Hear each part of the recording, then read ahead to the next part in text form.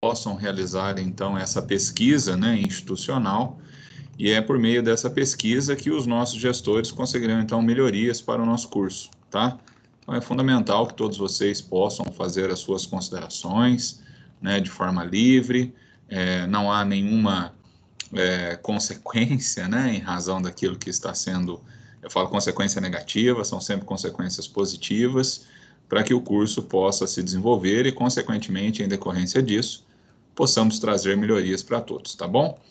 É, vocês verão que aqueles que ainda não fizeram, quando vocês entram no portal do aluno, haverá um banner, né? E vocês clicando nesse banner já ficará disponível, então, para que vocês possam responder aos questionamentos que ali ficam. Aqueles que já fizeram, o banner não aparece mais, tá? Então, a referência de vocês é sempre através do portal do aluno, tá bom? Para que vocês possam responder por lá. Uma outra questão que eu gostaria de colocar para vocês diz respeito aqui à, à questão do livro, né? Que eu passei para vocês no começo do semestre, para que vocês pudessem fazer a leitura dele. E disse que em duas oportunidades nós iríamos utilizar é, os argumentos ou a, a estrutura relacionada ao livro. Quais serão essas duas oportunidades? Primeiro, já gostaria de deixar aqui agendado com vocês e vejam como o tempo passa rápido, né? Vocês são a primeira turma, nós estamos no primeiro semestre e faltam, à exceção da aula de hoje, mais quatro aulas para nós encerrarmos as nossas disciplinas, todas elas, né? Então, se nós formos considerar a disciplina de segunda-feira, como segunda-feira é feriado, nós teremos apenas aí mais três aulas, já que no dia 30 de novembro nós já começamos a nossa segunda bateria de avaliações oficiais. Mas voltando aqui ao nosso tema, eu gostaria, gostaria de deixar agendado com vocês o dia 25 de novembro, para que nós possamos então realizar a nossa atividade baseada no livro O Caso dos Exploradores de Caverna, tá bom? Aqueles que ainda não fizeram a leitura, dá tempo de fazer. É um livro bem né, sucinto, um livro bem curto, traz uma ideia muito rica. E nós vamos trabalhar esse livro, então, no dia 25, como uh, eu disse a vocês que iríamos trabalhar em uma das nossas disciplinas. E vamos trabalhar na disciplina de teoria da argumentação jurídica, porque nós vamos fazer uma simulação de um julgamento, tá? Posteriormente, eu vou trazer para vocês a dinâmica, como que nós vamos realizar isso, mas peço a todos que individualmente façam a leitura do livro, porque além desta atividade do dia 25 de novembro, nós também teremos nas avaliações oficiais referente então ao segundo bimestre, né, é, uma questão, questão essa que será transversal, que ela irá valer pontos em todas as disciplinas, questão essa baseada no livro O Caso dos Exploradores de Caverna. Então é importante que vocês façam a leitura para que vocês consigam né, essa pontuação de forma bem tranquila. Lembrando que a segunda avaliação oficial terá uh, o seu valor de 4 mil pontos. Tá bom, pessoal? Então, nós ainda temos aí uma boa pontuação para nós podermos trabalhar ao longo desse último mês né, de, de aulas. Então, as nossas dinâmicas, principalmente em aula, elas continuarão, e até para evitar a, a carga de, de tarefas, né, vamos colocar assim, para vocês fazerem em casa, eu vou sempre buscar mais as nossas discussões da situação problema em sala de aula. Tá bom, pessoal? Então, a pontuação, como eu estarei avaliando, ela será melhor avaliada para aqueles que nós fizermos em sala de aula. Professor, vou poder te enviar depois? Pode. Tem a mesma pontuação? Não, não terá a mesma pontuação. Tanto que, ó, eu tenho aqui, baseado na nossa conversa da semana passada, nós temos atualmente seis grupos e temos duas pessoas que se manifestaram que estão fazendo de forma individual. Anderson e Érica, tá? Todos os outros, para mim, até onde eu entendo, estão fazendo parte de um grupo, até porque não se manifestaram para mim, tá? Professor, não estou mais em nenhum grupo, como é que eu faço? O meu grupo não está trabalhando. Já entrar em contato comigo algumas pessoas. Pessoal, isso vai de relacionamento. Todos têm um contato de todos aqui. Conhecem os líderes. Se você está numa equipe e você não está satisfeita, tente mudar para outra equipe. Mas eu não vou fazer essa ponte. Isso depende desse interrelacionamento entre vocês, para que vocês mesmos possam fazer isso, tá bom? Até porque se nós estivermos falando na nossa vida jurídica, nunca vai ter um professor para fazer o intermédio entre um advogado e outro, né? Um advogado vai ter que ligar para o outro. Isso daí não tem como fugir disso, ok? Muito bem, pessoal. Então falamos sobre a questão do avaliar, falamos sobre a questão é, do livro, né? como ele será abordado, como ele será trabalhado, o dia que ele será trabalhado. Então, vocês estejam preparados para o dia 25 de novembro para que nós possamos fazer as nossas atividades. Não deixem para a última hora para fazer pré-aula, pós-aula, em especial dessas disciplinas de quarta e quinta-feira, porque vocês têm uma pontuação específica sobre isso, certo? Que é a avaliação é, virtual de vocês, é à medida que vocês vão fazendo esses, essas atividades pré e pós-aula, vocês podem conseguir até 3 mil pontos, né? Conforme eu já expliquei para vocês. Então, não se esqueçam de fazer essas atividades em tempo e modo. Não adianta todo mundo ficar louco na última semana, acumulando semana de prova, mais atividades de pré e pós-aula para fazer. Vai dar tempo para fazer? Não. Quem será o prejudicado? Individualmente, né? Não há um prejuízo coletivo, o prejuízo é sempre individual. E o que nós estamos buscando aqui é justamente evitar que esses prejuízos aconteçam. Tudo bem, pessoal? Muito bem. Uma outra coisa muito significativa que eu gostaria aqui de, de conversar com vocês é quão é rico o material que vocês têm disponibilizado para vocês poderem é, estudar o pré-aula. Né? Não sei se todos tiveram oportunidade, mas é, eu vou até já compartilhar a tela aqui com vocês, porque hoje, revisando a aula, né, para poder conversar com vocês na noite de hoje, eu me deparei aqui com ah, o que está aqui como unidade 3, sessão 1. Vocês vão encontrar aqui em web aula, tá bom? Então, a web aula, vejam, vocês vão encontrar aqui praticamente tudo que nós vamos discutir ao longo da nossa aula de hoje. Pode ser baixado em PDF. Aqui vocês vão é, compreender, né, ou vão ter a, o conhecimento de alguns conceitos que são fundamentais dentro dessa nossa disciplina de teoria da argumentação jurídica.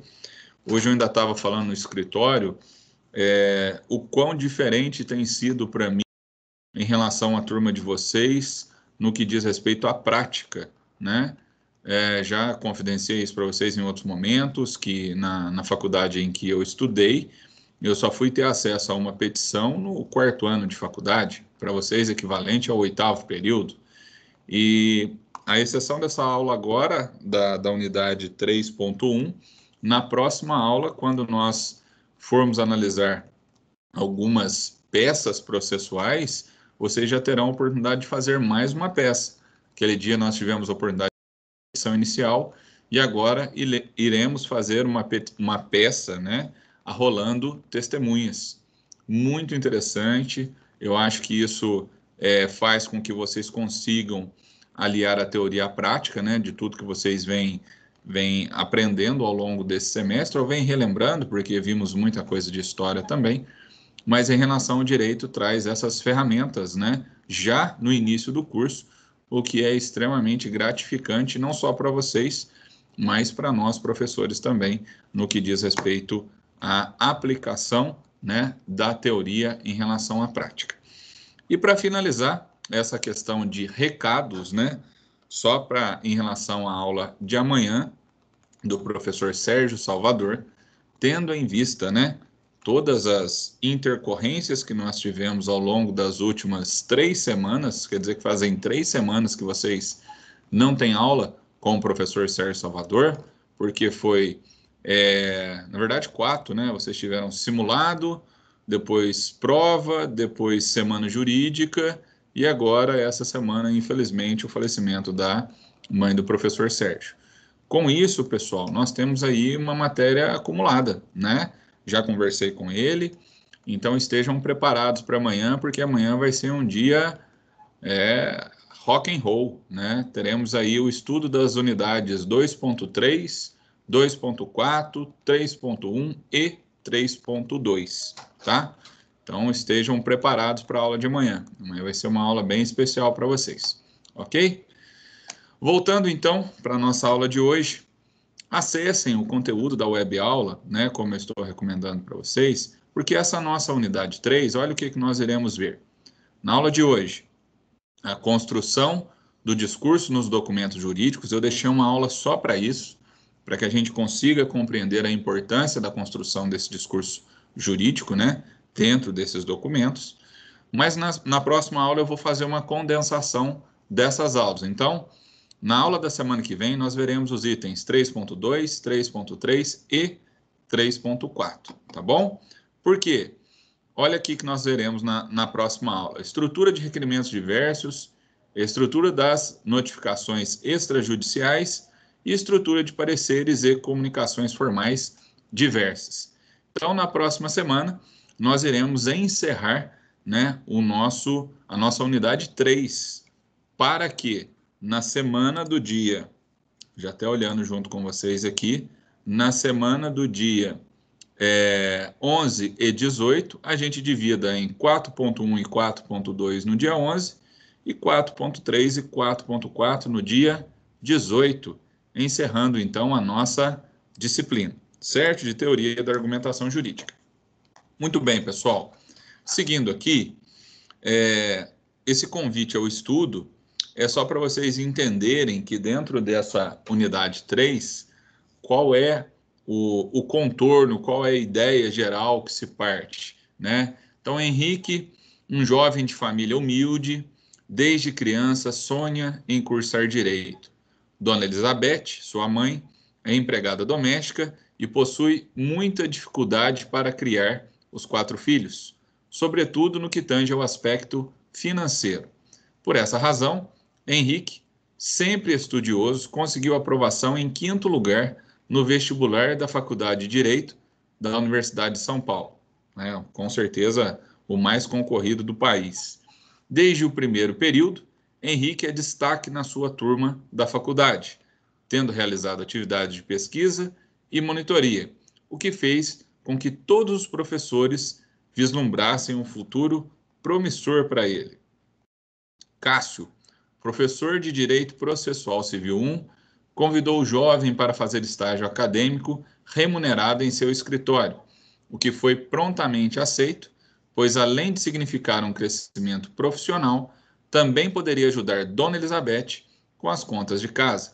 Apesar de muito interessado, Henrique está enfrentando dificuldade na confecção e compreensão das peças. Ao longo dessa unidade, você será responsável por orientar o estagiário no desenvolvimento do seu trabalho. Então, toda a nossa história, todas as vezes que nós estivermos trabalhando uma situação problema, né, nós estaremos partindo então desse contexto. Claro que nós temos dentro, né, do nosso livro didático, temos também dentro das propostas feitas pelos professores algumas complementações de situações semelhantes para que vocês possam praticar ainda mais conceitos que serão trabalhados ao longo da unidade 3. Ok, pessoal? Muito bem. A primeira situação problema, e assim como eu venho trazendo nas outras aulas, eu trago a situação problema para que a gente já imagine o que nós teremos que trabalhar e depois de vermos os conceitos, aí eu darei tempo para vocês poderem fazer essa atividade. Mas vamos lá. Qual é a situação problema de hoje? Detectando defeitos em parágrafos jurídicos. Como decorrência da situação geradora de aprendizagem, imagine a primeira situação problema dessa unidade. Passados aproximadamente dois meses no escritório de advocacia do professor Cássio, Henrique demonstrava inquietação em relação aos assuntos que desconhecia. Ficou bastante confuso em relação à ordem das audiências, sobre os protocolos de petições e principalmente acerca do conteúdo e da estrutura de algumas peças e decisões judiciais, cuja compreensão tornou-se tarefa árdua em algumas ocasiões. Recentemente, em um processo que tramitava perante a 15ª Vara Civil da Comarca de São Paulo, foi proferida a seguinte decisão. Luzia ajuizou ação de danos materiais em face de Antônio. Este descumpriu regras da legislação brasileira de trânsito, invadiu uma pista de mão única e bateu no carro de Luzia, que estava estacionado em local permitido. Os danos ao veículo da autora foram avaliados em 3 mil reais. O artigo 927 do Código Civil adverte que todo aquele que por ato ilícito causar dano a outrem ficará obrigado a repará-lo. Nesse sentido, julgo improcedente a pretensão autoral. Ao questionar o professor Cássio sobre o conteúdo da sentença, Henrique foi incumbido de detectar todos os defeitos que porventura ela possua. E aí vem a pergunta: na sentença anteriormente mencionada, qual é a qualidade essencial ao parágrafo que está ausente? E a partir de então, né, para resolver essa questão, é, você deverá, primeiro, compreender bem todas as qualidades essenciais ao parágrafo, e nós vamos trabalhar esses conceitos agora: unidade, coerência, ênfase, clareza e concisão. Distinguir, em um caso concreto, a presença ou não de todas as qualidades essenciais ao parágrafo. Analisar a seguinte questão: é possível afirmar que o juiz da 15ª Vara Civil da Comarca de São Paulo obedeceu a todas as qualidades essenciais ao parágrafo? Em caso negativo, a ausência de unidade, coerência, ênfase, concisão ou clareza? E em outras palavras, questiona-se o seguinte: o juiz tratou sobre o mesmo assunto ao longo de toda a decisão? Há contrariedade nas premissas adotadas pelo juiz? Foi dado ênfase à ideia central do texto? O juiz sintetizou bem suas ideias? transmitir uma mensagem clara para o leitor? Como você analisa essas questões? Então, a partir de agora, nós vamos a estudar, passar a estudar, né, esses conceitos ou relembrar alguns conceitos para aqueles que já tenham visto, e em decorrência disso, possamos então resolver essa situação problema, tá bom? É, eu vou voltar para os meus slides, mas digo a vocês que os slides aqui do material do web aula, eles estão até mais didáticos. Eu falo de forma visual, né? Porque às vezes a gente acaba trazendo muito texto com o intuito de dar mais fundamentação para vocês. Mas aqui a forma como eles fazem, né, em quadros, em comparações, isso é bem interessante e fica bem didático. Muitas vezes a gente não consegue ter tempo suficiente para conseguir elaborar dessa forma a aula. Mas fica aqui a recomendação para que vocês, tendo oportunidade, façam a leitura através desse material da web aula, que é extremamente interessante para vocês. O vídeo, eu vou ser bem sincero, eu não achei assim tão interessante, mas aqueles que tiverem tempo, acho que se eu não me engano, são 14 minutos de vídeo que falam acerca do texto dissertativo argumentativo, que é a nossa principal ferramenta quando nós estamos trabalhando com é, textos jurídicos. Ok, pessoal? Bom, fica aí então a minha recomendação para vocês. Muito bem. Na aula passada, né, nós encerramos a aula falando sobre uma situação problema. Situação problema essa que dizia: Rafael e Augusto estão no último ano da faculdade de Direito e, para adquirirem experiência, o que pode ajudá-los para a inserção no mercado de trabalho, eles começam a atuar como voluntários em uma ONG formada por advogados, que presta consultoria a pessoas de baixa renda. O primeiro caso do qual eles irão participar é uma consultoria que a ONG irá oferecer a um grupo de pessoas que têm sofrido pressão para deixarem a área onde moram, chamada Novo Mundo. Ela foi ocupada há mais de 10 anos e pertence à prefeitura da cidade. O coordenador dos dois voluntários pediu que, após lerem os depoimentos e a contextualização sobre o caso, eles propusessem dois planejamentos de arguição, um utilizando a estrutura dedutiva e outro utilizando a estrutura indutiva. Após a análise do caso, os membros da equipe nele envolvidos irão se reunir para decidir como irão orientar o grupo e que defesa podem construir para defendê-lo da expulsão. Coloquei para vocês que o trabalho aqui né, no, no slide está como individual, mas poderia ser feito em grupo, não havia nenhum problema. E cada um escolherá o posicionamento, argumentos distintos, desenvolverá o texto com recursos estilísticos diferentes.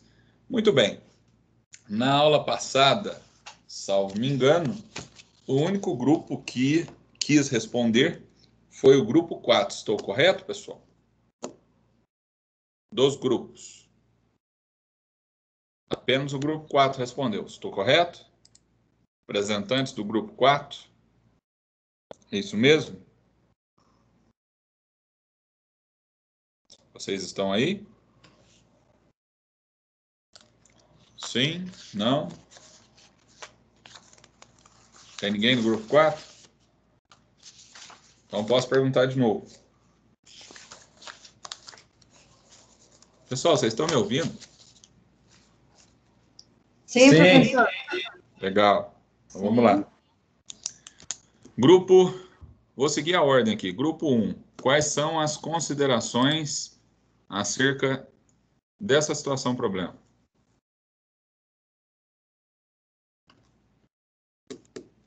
Grupo 1. Professor. Gente. Oi.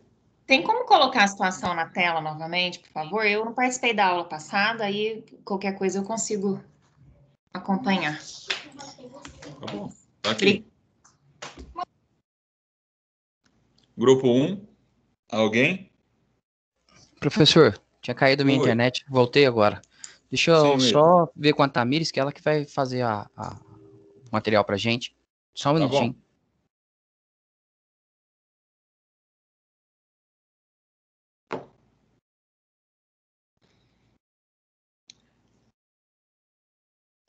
Grupo 2, vocês estão preparados?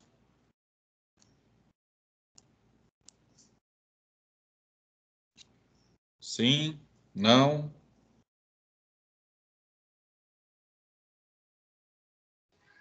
Oi, estão me Oi. ouvindo? Sim. Então, é, a nossa equipe chegou na seguinte conclusão. Direito dedutivo, descrição de direito à moradia adequada se tornou um direito humano universal, aceito e aplicável em todas as partes do mundo como um dos direitos fundamentais para a vida das pessoas, no ano de 1948, com a Declaração Universal dos Direitos Humanos, que é o direito à moradia, uso capeão, produtividade, produtividade da terra, e a gente concluiu que a função social deve ser aplicada pelo Estado nesse caso. A legislação brasileira permite que uma pessoa possa adquirir a propriedade de um bem, seja móvel ou imóvel, pelo uso por um determinado, determinado tempo, sem interrupção e desde que cumpra os requisitos exigidos pela lei. Todavia, em nenhuma hipótese é possível uso capião de bem público. Deveria ceder e cumprir dentro da lei conforme manda o direito social. Tá. A minha pergunta você até já respondeu, eu ia até pesquisar aqui, porque eu não tinha. Fazia tempo que eu não lia sobre a questão de uso campeão. Uh, ok, vocês até fundamentam aí a, algumas questões relacionadas aos direitos humanos. Eu vou fazer comentário depois sobre isso, eu vou deixar anotado aqui. Ok, Cê, é grupo 1, né, Tamires? Isso, isso, professor. Ok. Muito bem. Grupo 2, alguém? Não? Grupo 3?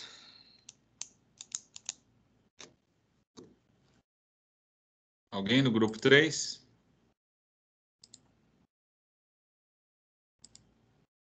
Não? Grupo 4 já respondeu. Grupo 5. Boa noite, tá me ouvindo, Regis? Boa noite, tô sim, Henrique. Tá, eu vou. O nosso ficou um pouco longo, tem problema? Não, vamos lá. A gente falou sobre ação do uso capião urbano. Certo. Nossa tese.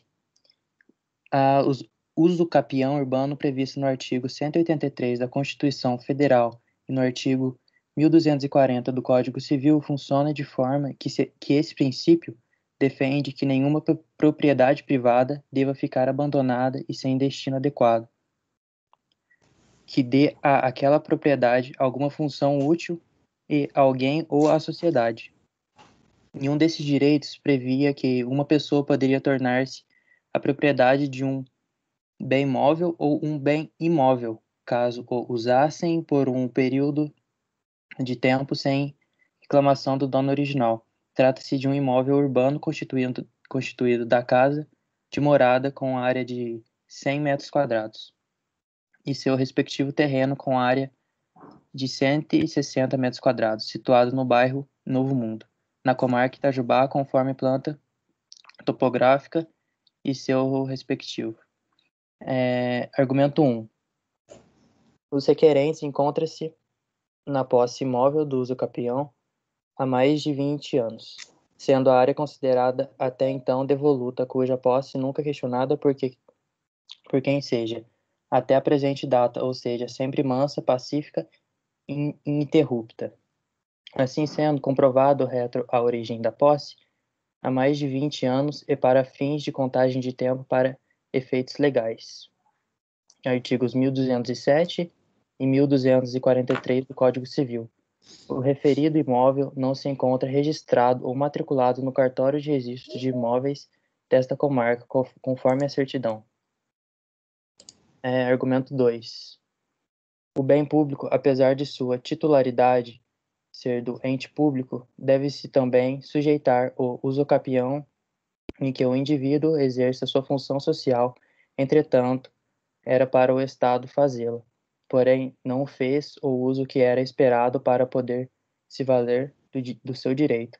Assim, o Estado com esses ônus para aprender a zelar pelo bem público e atender a sociedade espera.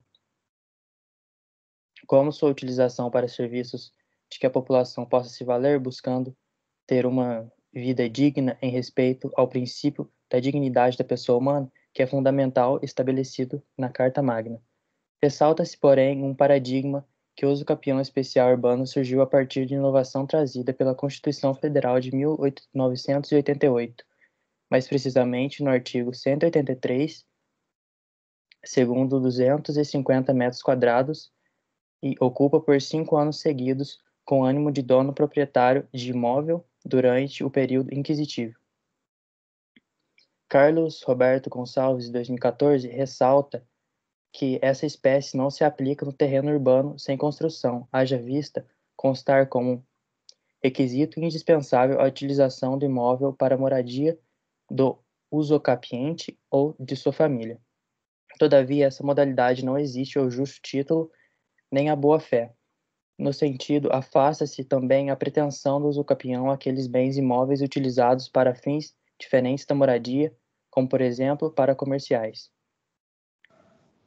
Além, além do caput do artigo 183, merecem destaques também os parágrafos 2 a 3 é, o terceiro do mesmo artigo, pois deixam claro duas informações importantes. A primeira delas é que o direito não será reconhecido ao novo possuidor mais de uma vez, ou seja, se o usucapiente vier, ele, ele de fato e conseguir reconhecimento da propriedade, jamais poderá buscar outra posse que lhe conceda o campeão especial urbano.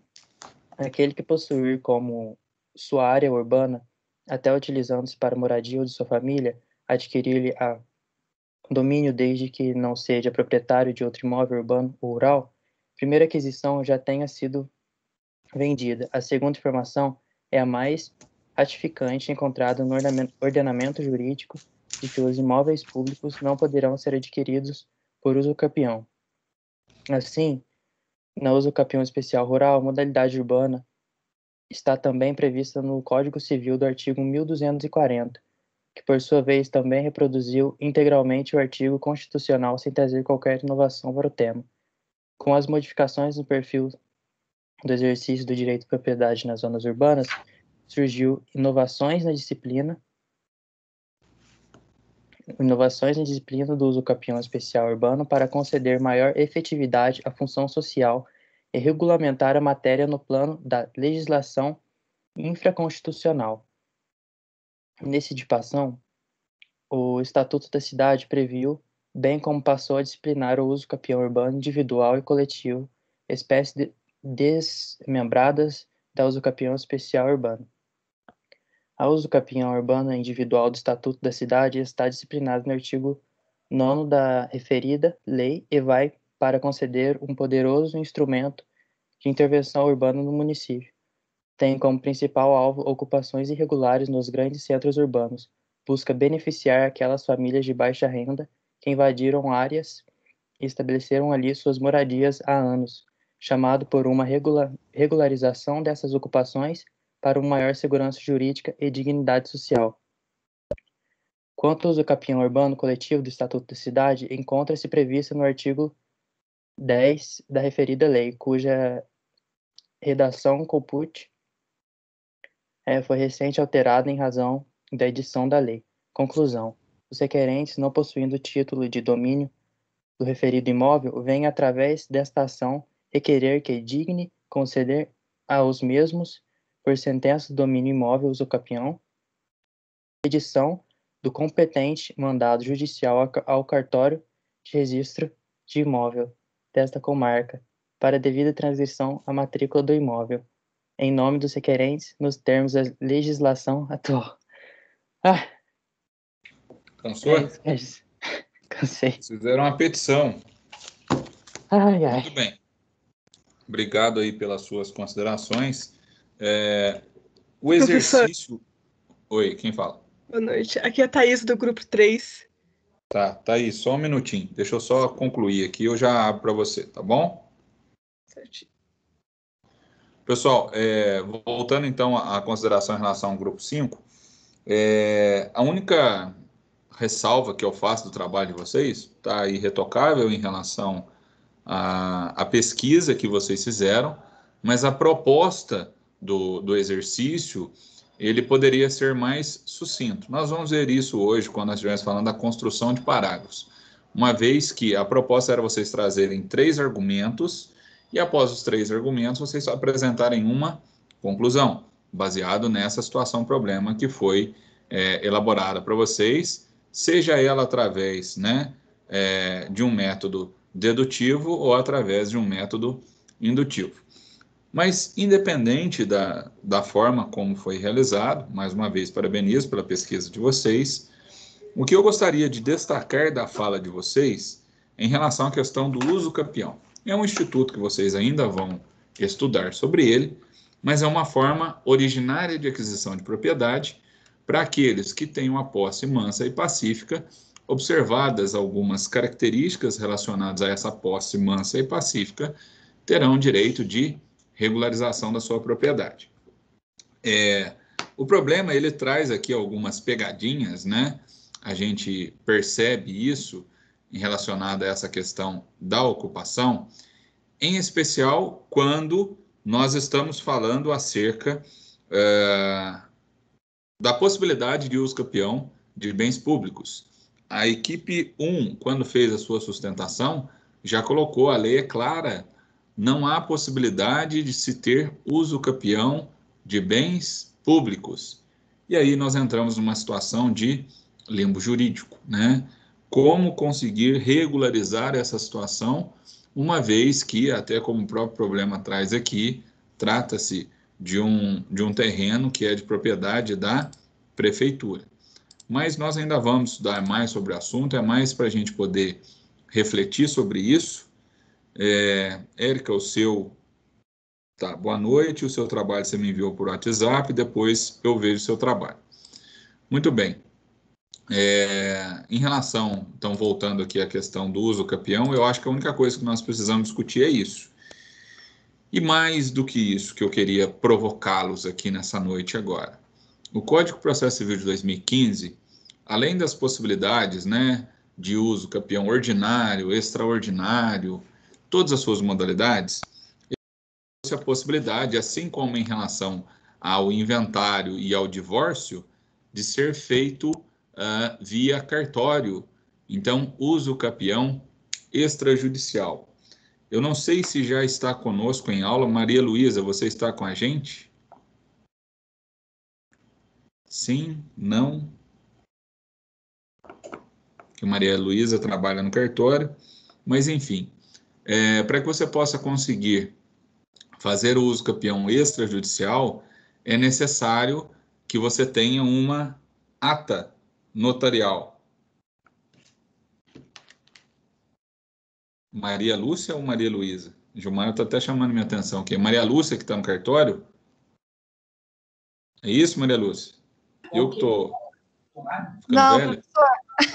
Não, é a, é a, colega mesmo. É a Maria Luísa. Oi. Eu, Gilmar? Não tem nada a ver, não. Obrigado, Lúcia. Não, não, Gilmar. Obrigado. É, então, pessoal, é, vocês precisam de uma ata notarial. Cara, se, se vocês conseguirem imaginar o que, que é uma situação Professor. da qual você não tem. É, eles não têm treinamento, o CNJ não manda nenhum tipo de treinamento. Foi colocado na legislação que haveria possibilidade de se fazer uma, um uso campeão extrajudicial, então via cartório. Existe esse documento chamado ata notarial. É, cinco anos após, então nós já estamos já em 2020. Eu sei que alguns cartórios já estão fazendo a ata notarial, mas assim como a gente encontra problemas relacionados ao poder judiciário, pessoal, essa coisa arcaica que se chama cartório, né? E eu vou dizer isso dessa forma pejorativa, uma vez que isso é da época do Império e eu tenho sérias restrições em relação a isso. É, imaginem que existe apenas um cartório de registro de imóveis na nossa cidade, ok? Não se abre mais concurso para que tenham. E esse cartório de registro de imóveis é responsável por vários municípios, não apenas por um município. Professor. E a famosa lei de registros públicos, né, que, como eu já mencionei com vocês na, na aula de segunda-feira, é uma das leis esparsas que continua existindo apesar da edição do novo Código Civil, é, ele, ao invés de, e eu estou falando aqui em relação ao seu dono, né? Vou colocar dessa forma, porque é vitalício, então, em relação ao seu dono, ele traz uma série de.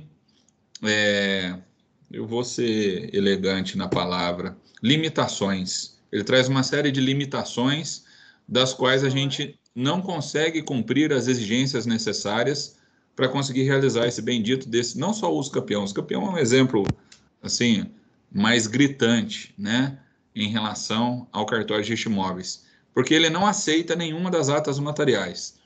É como se é, precisasse passar por um concurso público para a gente conseguir fazer um uso campeão extrajudicial. E eu é, confesso que até hoje eu não ouvi nenhum colega meu, né, colega de militância, advogado, que consiga ter feito um uso campeão extrajudicial no cartório de imóveis de Itajubá. Nenhum. E em cidades vizinhas isso é comum, já existe.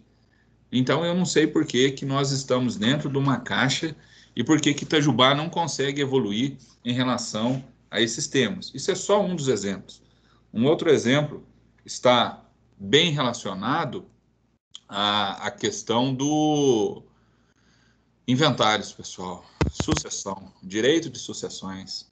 Cada dia que passa fica mais complicado fazer inventário em Itajubá, porque as exigências que são criadas a cada ano é como se a legislação tivesse mudado, mas a legislação não mudou. O que muda são os critérios a serem aplicados e como nós vamos conseguir registrar um formal de partilha. Então, assim, compartilhando com vocês, futuros operadores do direito, quais serão as dificuldades que vocês vão encontrar. O meu problema é só com o juiz? Não. Juiz é um dos problemas. Os cartórios também, e aí aqui eu queria até abrir para Maria Luísa, os cartórios de registro civil em si a gente não tem nenhum problema. mas o de registro de imóveis é algo assim fora do comum para a gente conseguir trabalhar. Mas muito bem. É, eu vou colocar aqui agora, eu estou vendo que está tendo algumas mensagens no WhatsApp, mas eu ainda não vou abrir aqui para a gente continuar isso. Eu gostaria de ouvir o grupo 3 agora. Pode falar, Thaís, né? Isso, professor. Nós fizemos assim. Sabemos que inter, internacionalmente o Brasil assinou embaixo do direito à moradia, nacionalmente também desde 1988, com a promulgação da Constituição Cidadã. O assunto de habitação esteve presente, mas não detalhadamente, ao falar sobre a competência comum da União, dos Estados, do Distrito Federal e dos municípios em promover programas de construção de moradias e a melhoria das condições habitacionais e de saneamento básico. Já trata sobre o assunto de moradia, mesmo que teórica e brevemente. Também ao dispor sobre os requisitos de, do salário mínimo, afirma-se que o valor deve ser capaz de atender às suas necessidades vitais básicas e as de, de sua família, como moradia e alimentação. O direito à moradia, propriamente dito, não está na Constituição desde a sua implementação, mas passou a ser um direito constitucional no ano de 2000, quando a emenda constitucional número 26 foi incorporada à lei, a ela. A lei diz o seguinte: são direitos sociais a educação, a saúde, a alimentação, o trabalho, a moradia, o lazer e a segurança, a previdência social, a proteção, a maternidade e a infância, assistência aos desamparados. Um dos motivos para a inclusão do direito à moradia na Constituição é a associação direta dele com o princípio da dignidade da pessoa humana. Esse princípio é um dos mais importantes dentro das nossas leis, assim como no mundo inteiro, e serve como reflexão para vários, várias questões, como o quão necessário é ter direito a uma casa, um lar, com requisitos básicos à sobrevivência para que se viva com dignidade. Ao relacionar a necessidade de uma moradia com a aquisição de uma vida digna, entende-se o direito à moradia como um direito social que vai além do individual e por isso é re relevante para toda a sociedade. Muito bem. Obrigado, Thaís, por suas considerações. Grupo 6. Boa noite, professor. Boa noite. É, que é o João Carlos, eu vou falar no grupo 6. Vamos lá. Vamos lá, João. O direito dedutivo é um direito fundamental pela Declaração Universal dos Direitos Humanos, assegurado pela Constituição Federal de 1988, incluso na emenda constitucional número 26 de 2000, no rol de direitos sociais. Se o direito à moradia é assegurado pela Constituição, então é de competência comum da União, dos estados e dos municípios assegurar esse direito. O Estado pode promover programas sociais para concessão de moradias e condições habitacionais para resguardar o direito à moradia. Logo, a Prefeitura, ao requerer a desocupação do mundo novo, deverá dispor de outra área para reintegrar esse grupo de pessoas e assim lhes assegurar o direito à moradia conforme rege a Constituição. Perfeito, João. Obrigado por suas considerações. Vou tentar falar aqui com a Maria Luísa agora. Maria Luísa, abre o seu áudio, por favor. Vamos ver se a gente consegue te ouvir. Vamos ver, estão me ouvindo? Baixinho, mas estou. Meu Deus. Melhorou agora. Melhorou? Ficou baixo de novo. Melhorou? Tá baixo. Ah, meu Deus. Tá no último aqui pra mim. Fala para eu te ouvir. Tá ouvindo? Não tô conseguindo te ouvir. Mesmo, né? Muito baixo. Não tem problema. Depois a gente volta a esse assunto sobre ata notarial para você poder falar um pouquinho para a gente. Ou se você puder, posta no grupo que aí a gente é, comenta sobre isso, como é que o cartório tem se posicionado em relação a essas atas notariais. Tá bom? Obrigado, Maria Luísa. Não sei se é da sua área lá também, né? Às vezes eu estou fazendo uma pergunta que não é algo que você trabalha lá no cartório. Mas muito bem. Vamos continuar aqui então. Vocês verão, serão, são três atividades diagnósticas que vocês encontram uh, nesse material pré-aula de vocês, em relação à unidade 3, sessão 3.1. atividade, ó. Vamos lá? João. Tem um áudio aberto. Quanto à espécie de parágrafo, assinale a alternativa correta. Narrativa nunca é utilizada na redação jurídica. A persuasão ocorre geralmente no parágrafo dissertativo expositivo. No parágrafo dissertativo expositivo, a intenção do redator é tão somente expor e discutir uma ideia ou um tema, enquanto no dissertativo argumentativo, a intenção do redator é convencer o leitor acerca de determinado assunto. O parágrafo narrativo constitui uma reprodução da realidade na medida em que se objetiva fazer com que o leitor, por meio de uma descrição, visualize uma imagem, um local, uma determinada característica, uma pessoa, entre outros. É impossível a existência de mais de uma espécie de parágrafo em um mesmo texto. Quem fez e queira comentar?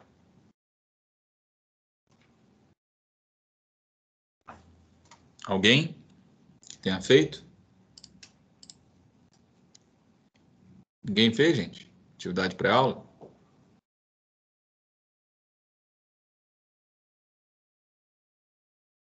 Tem que recorrer a Cristiane de novo. Cristiane, você fez? Professor, dessa vez eu sinto muito, não fiz. Eu tive capacitação do núcleo de pesquisa da faculdade hoje o dia inteiro. Me desculpa. Sem problema, não tem nenhum problema não. Pessoal, alguém fez essa atividade? Se não fez, não vou dar spoiler também não. Depois a gente responde isso depois que nós fizermos o nosso, é, tivermos a nossa aula de hoje, tá bom?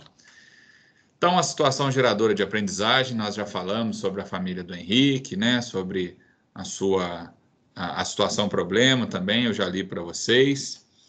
É, seguindo aqui a ideia, então, da construção do discurso.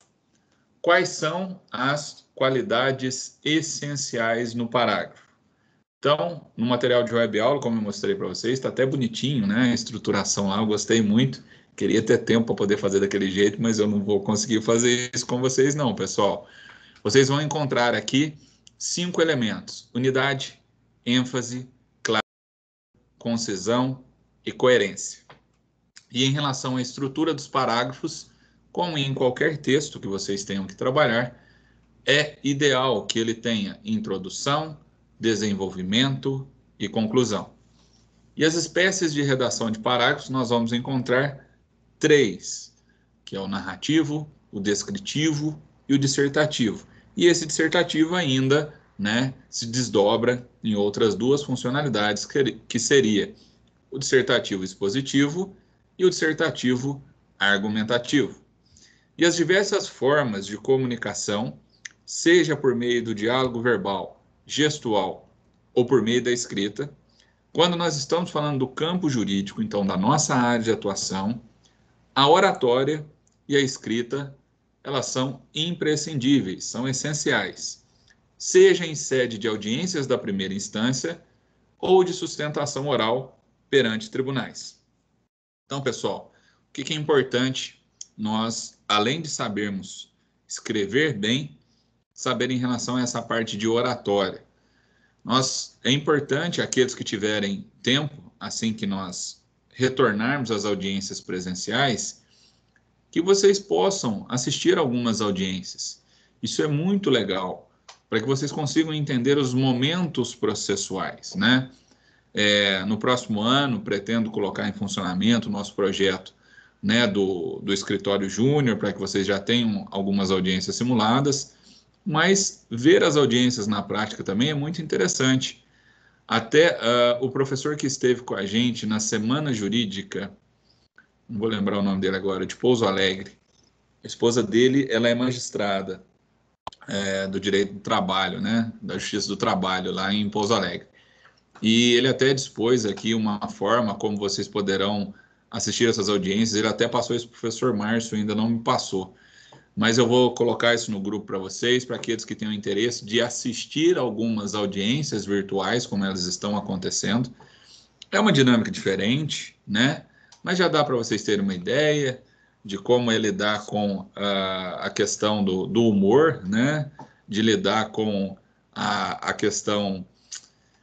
Ah, pessoal, não tem como não dizer, né? De perseguição, existe algumas perseguições, sim, muito embora isso fala que não exista, velado, existe. E principalmente se a sua empresa é uma empresa, se você representa alguma empresa que tenha algumas pendências em relação à justiça do trabalho, isso é, é muito comum. É, além disso, né? O profissional do direito ele deve saber desenvolver um texto com coesão, clareza e objetividade. Então, todas essas pesquisas que vocês têm feito, é, parabenizo aqui todas as equipes, mas gostei muito da construção da, da equipe 5, né? Já fez uma forma de peça, e isso faz com que vocês consigam desenvolver mais e cada vez mais essas técnicas e habilidades. Professor, sou uma negação, escrevo muito mal, é, não, não consigo me adaptar a essa nova realidade virtual. Então, o que eu recomendo para você é muita leitura, né, que você consiga ler textos, né, obras que estejam de acordo com as suas aptidões, que estejam de acordo com aquilo que você goste, né, o estilo literário que mais lhe agrade, para que, assim, você desenvolvendo o hábito da leitura, além de adquirir vocabulário, você também conseguirá é, melhorar a sua escrita, porque você vai estar tá vendo novas palavras, vai estar tá aprendendo novos conteúdos. E aí, quando você passar a enxergar não só os estilos literários do seu gosto, você também conseguirá aplicar isso para as disciplinas e isso fará com que o seu aprendizado ele tenha assim uma, um aumento exponencial em relação tanto à qualidade quanto em relação à quantidade de materiais que você poderá trabalhar. Muito bem. O que, que ainda é necessário que a gente observe em relação a esses textos ou a esses parágrafos que é o objetivo ou que é o, o tema central de hoje? transmitir a mensagem de maneira organizada e sistematizada a um público-alvo. Então, pensem sempre. Na aula passada, nós falávamos de razão, de utilizar toda a lógica dentro desses textos argumentativos, justamente para que a gente consiga, aplicando esses conceitos de lógica, deixar os nossos textos mais deduzíveis em relação às nossas pretensões. Seja aquele que está atacando, que é o autor, seja aquele que está defendendo, que é o réu, utilizando-se dos seus argumentos. Até a, profe... a, a doutora Márcia Elizabeth disse na palestra dela sobre a dificuldade de pegar uma petição mal escrita, né? E nós sofremos demais, porque é, se não passou pelo filtro, né? E deveria ter passado pelo filtro na, na distribuição do processo, que é o início do processo, a secretaria tem que fazer uma conferência para verificar se há possibilidade jurídica daquele pedido. E muitas vezes essas incoerências, né, que ah, se encontram dentro desses textos jurídicos poderiam matar o processo no início, mas não. É, dado o volume, né, e aí não vou crucificá-los também em relação a isso, acho que são um pouco serventuários para muitos processos, e como não é possível fazer esse frio, filtro de forma adequada, a gente acaba pegando muitas peças né, de, de colegas que, infelizmente, não há aplicação de nenhuma técnica dessas que nós estamos trabalhando ao longo de todo esse semestre, né, para que vocês consigam compreender a importância e quando vocês chegarem ao final do curso, conseguirem ainda utilizar todas essas técnicas que nós estamos trabalhando ao longo desse semestre. Vai ser extremamente importante para vocês. Sobre as qualidades essenciais ao parágrafo, que eu disse para vocês que são cinco. Então, nós temos a primeira, a unidade. É necessário haver um único raciocínio e uma ideia central, permeando todo o parágrafo e deve ser analisado de forma conjunta e expressar uma unidade. Aqueles que estiverem com o livro didático fácil na mão de vocês, olhem a página 136. O exemplo. Veja esse trecho extraído do livro Direito Ambiental Esquematizado de Frederico Amado, de 2014. Há uma crescente tendência mundial na positivação constitucional das normas protetivas do meio ambiente, notadamente após a realização da Conferência das Nações Unidas sobre o Meio Ambiente, em Estocolmo, em 1972, pela ONU. Esse recente fenômeno político decorre do caráter cada vez mais analítico da maioria das constituições sociais.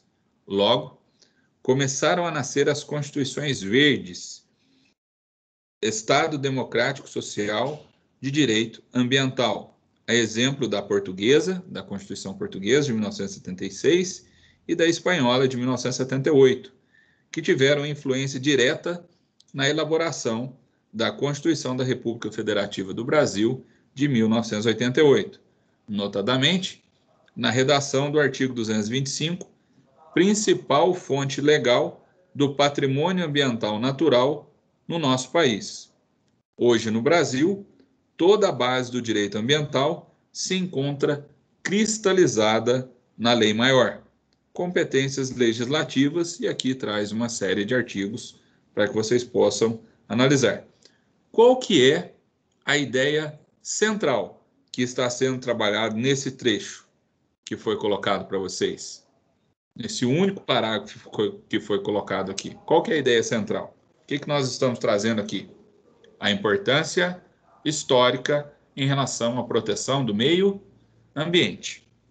E aqui, pessoal, vamos a algumas é, colocações, e agora eu acho que a provocação com a Cristiane ela vai ficar mais interessante para que a gente possa alinhar um, uma linha de raciocínio aqui. É, eu já comentei com, com vocês sobre isso, em especial quando nós estamos é, dentro de uma pesquisa científica, a questão de nós tentarmos manter uma é, padronização em relação ao número de linhas de um parágrafo, para que ele não fique extensivo demais, cansativo demais, e em decorrência disso, a ideia, a mensagem que você procura transmitir com aquele parágrafo, ela seja perdida. Quantas vezes vocês já pegaram um parágrafo muito extenso que quando você chega no final da leitura daquele parágrafo, você não lembra mais nada do que você leu no começo? Então, para se evitar esse tipo de coisa, recomenda-se, né? E aí a Cristiane pode me corrigir, não há nenhum problema se eu estiver errado, estou aqui para aprender. É, recomenda-se que os parágrafos eles um no máximo, no máximo, seis linhas, não mais do que isso. Mais do que isso fica um texto enfadonho, fica um texto pesado e corre-se o risco de não se transmitir a mensagem adequada. Estou equivocada, minha colega de pesquisa, Cristiane? Cristiane nos ouve?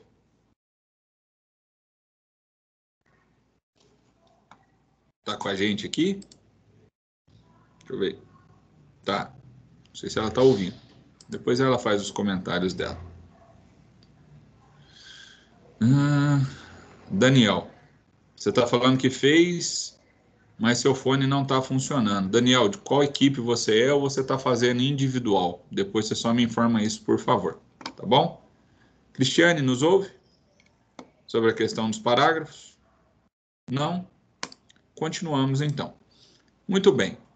Então, sobre essa questão, apesar de ser um exemplo aqui, né, sobre a questão da unidade, e vocês terem uma ideia relacionado a, a um mesmo tema, né, então colocando um raciocínio, uma ideia central que permeia todo o parágrafo, e aqui a questão da evolução e proteção histórica do meio ambiente, é isso que está centrado aqui, como isso ocorreu, mas é importante também vocês entenderem essa padronização, né? Colocar bem entre aspas aqui, para que o texto não fique, então, cansativo para o leitor, né, quando vocês estiverem fazendo uma peça, ok?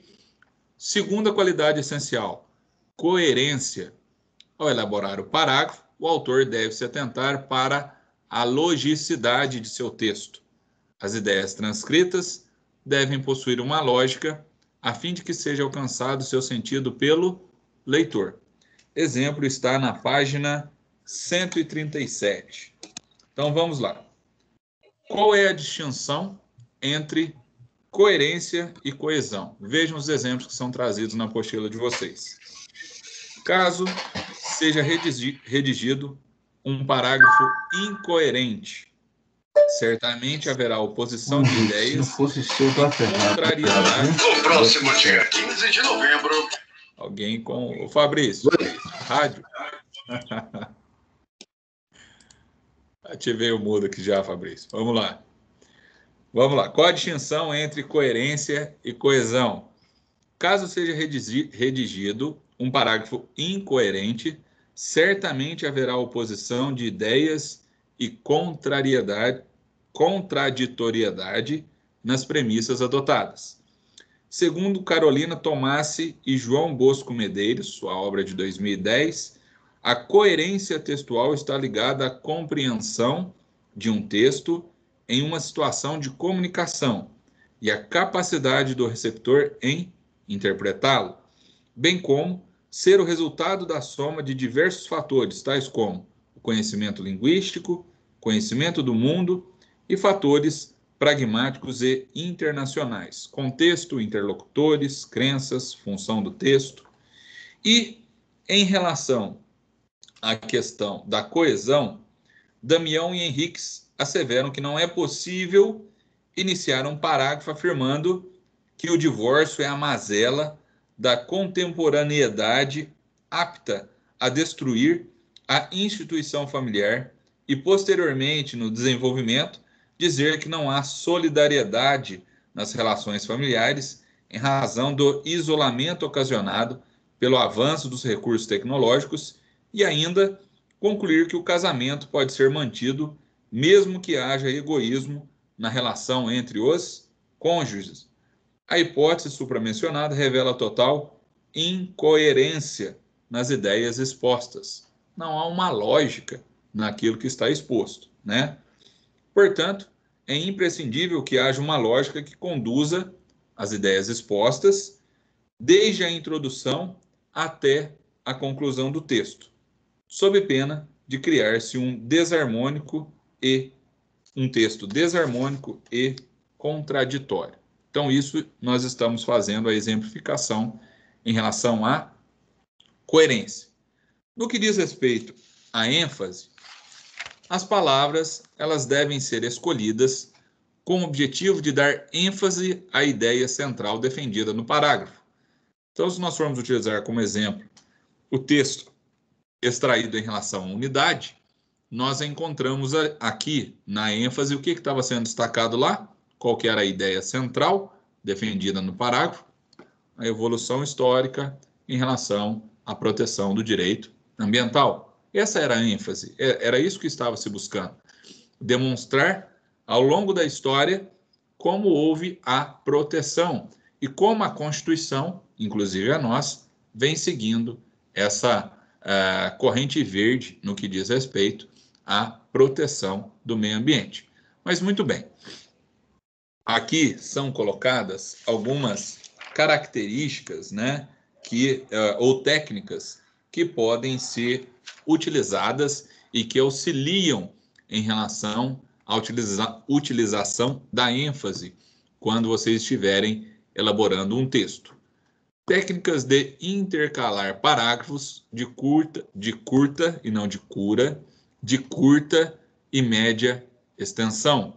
Então, todas as vezes que vocês estiverem fazendo, a minha recomendação para vocês é que esses parágrafos não sejam superiores né, a, a seis linhas, mas também que vocês não tenham parágrafos de duas linhas, porque aí dá uma ideia de incompletude, né, de que vocês não conseguiram discorrer sobre aquela ideia. Então vocês precisam sempre manter uma média, e aqui fala-se apenas para que vocês para darem ênfase a algo que vocês querem destacar no texto, a utilização dessa técnica da utilização de parágrafos de curta e de média extensão.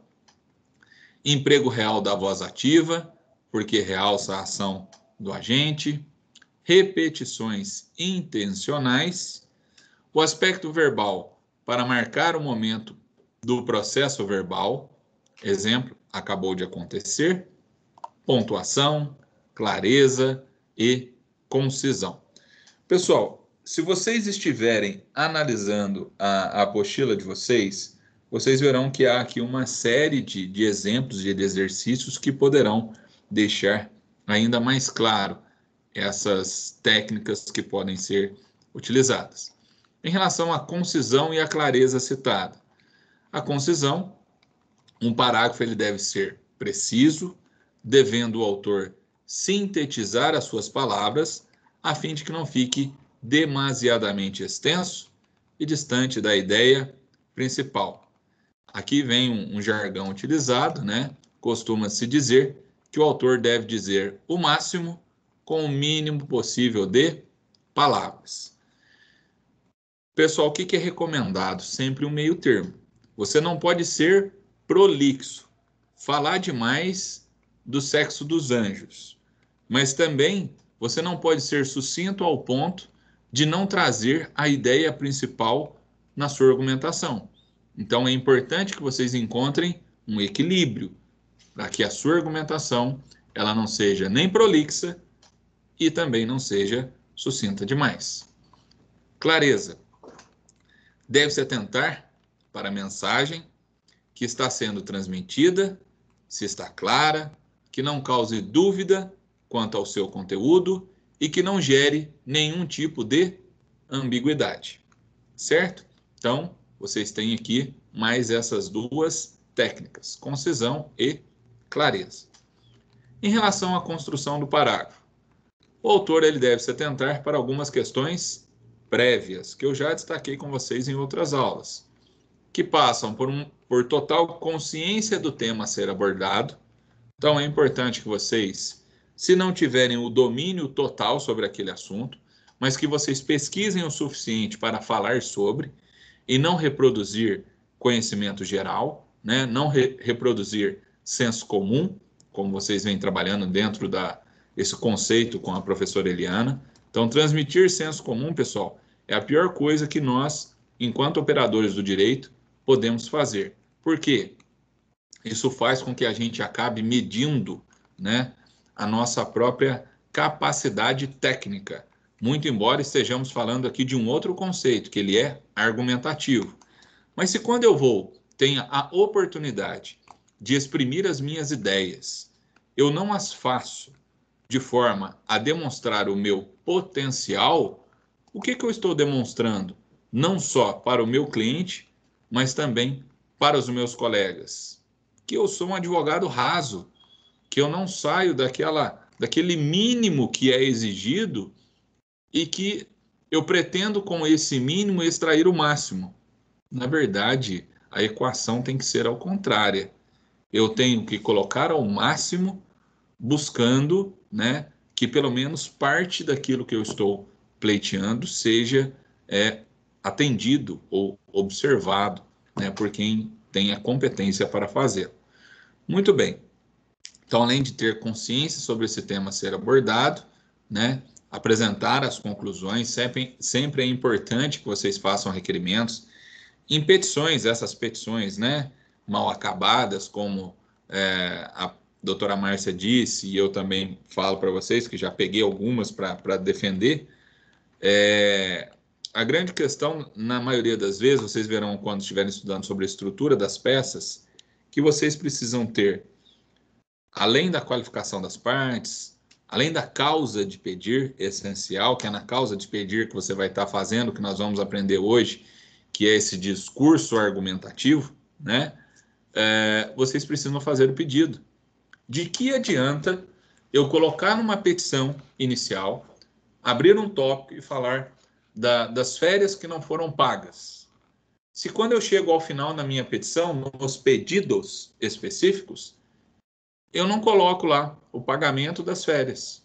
De que adiantou argumentar? Nós temos uma estrutura a ser seguida. E se essa estrutura não for, não for seguida, é, o juiz não pode decidir. Ele não pode complementar a minha petição. Ele não pode advogar, né? Então esse é um vício que ele não pode ser sanado. Consequentemente, qual a consequência? Eu vou perder a minha peça inteira? Bom, se eu esqueci de colocar o pedido relacionado às férias, eu não posso ter uma sentença favorável em relação às férias. É isso que, se eventualmente acontecer, vocês terão margem para um recurso.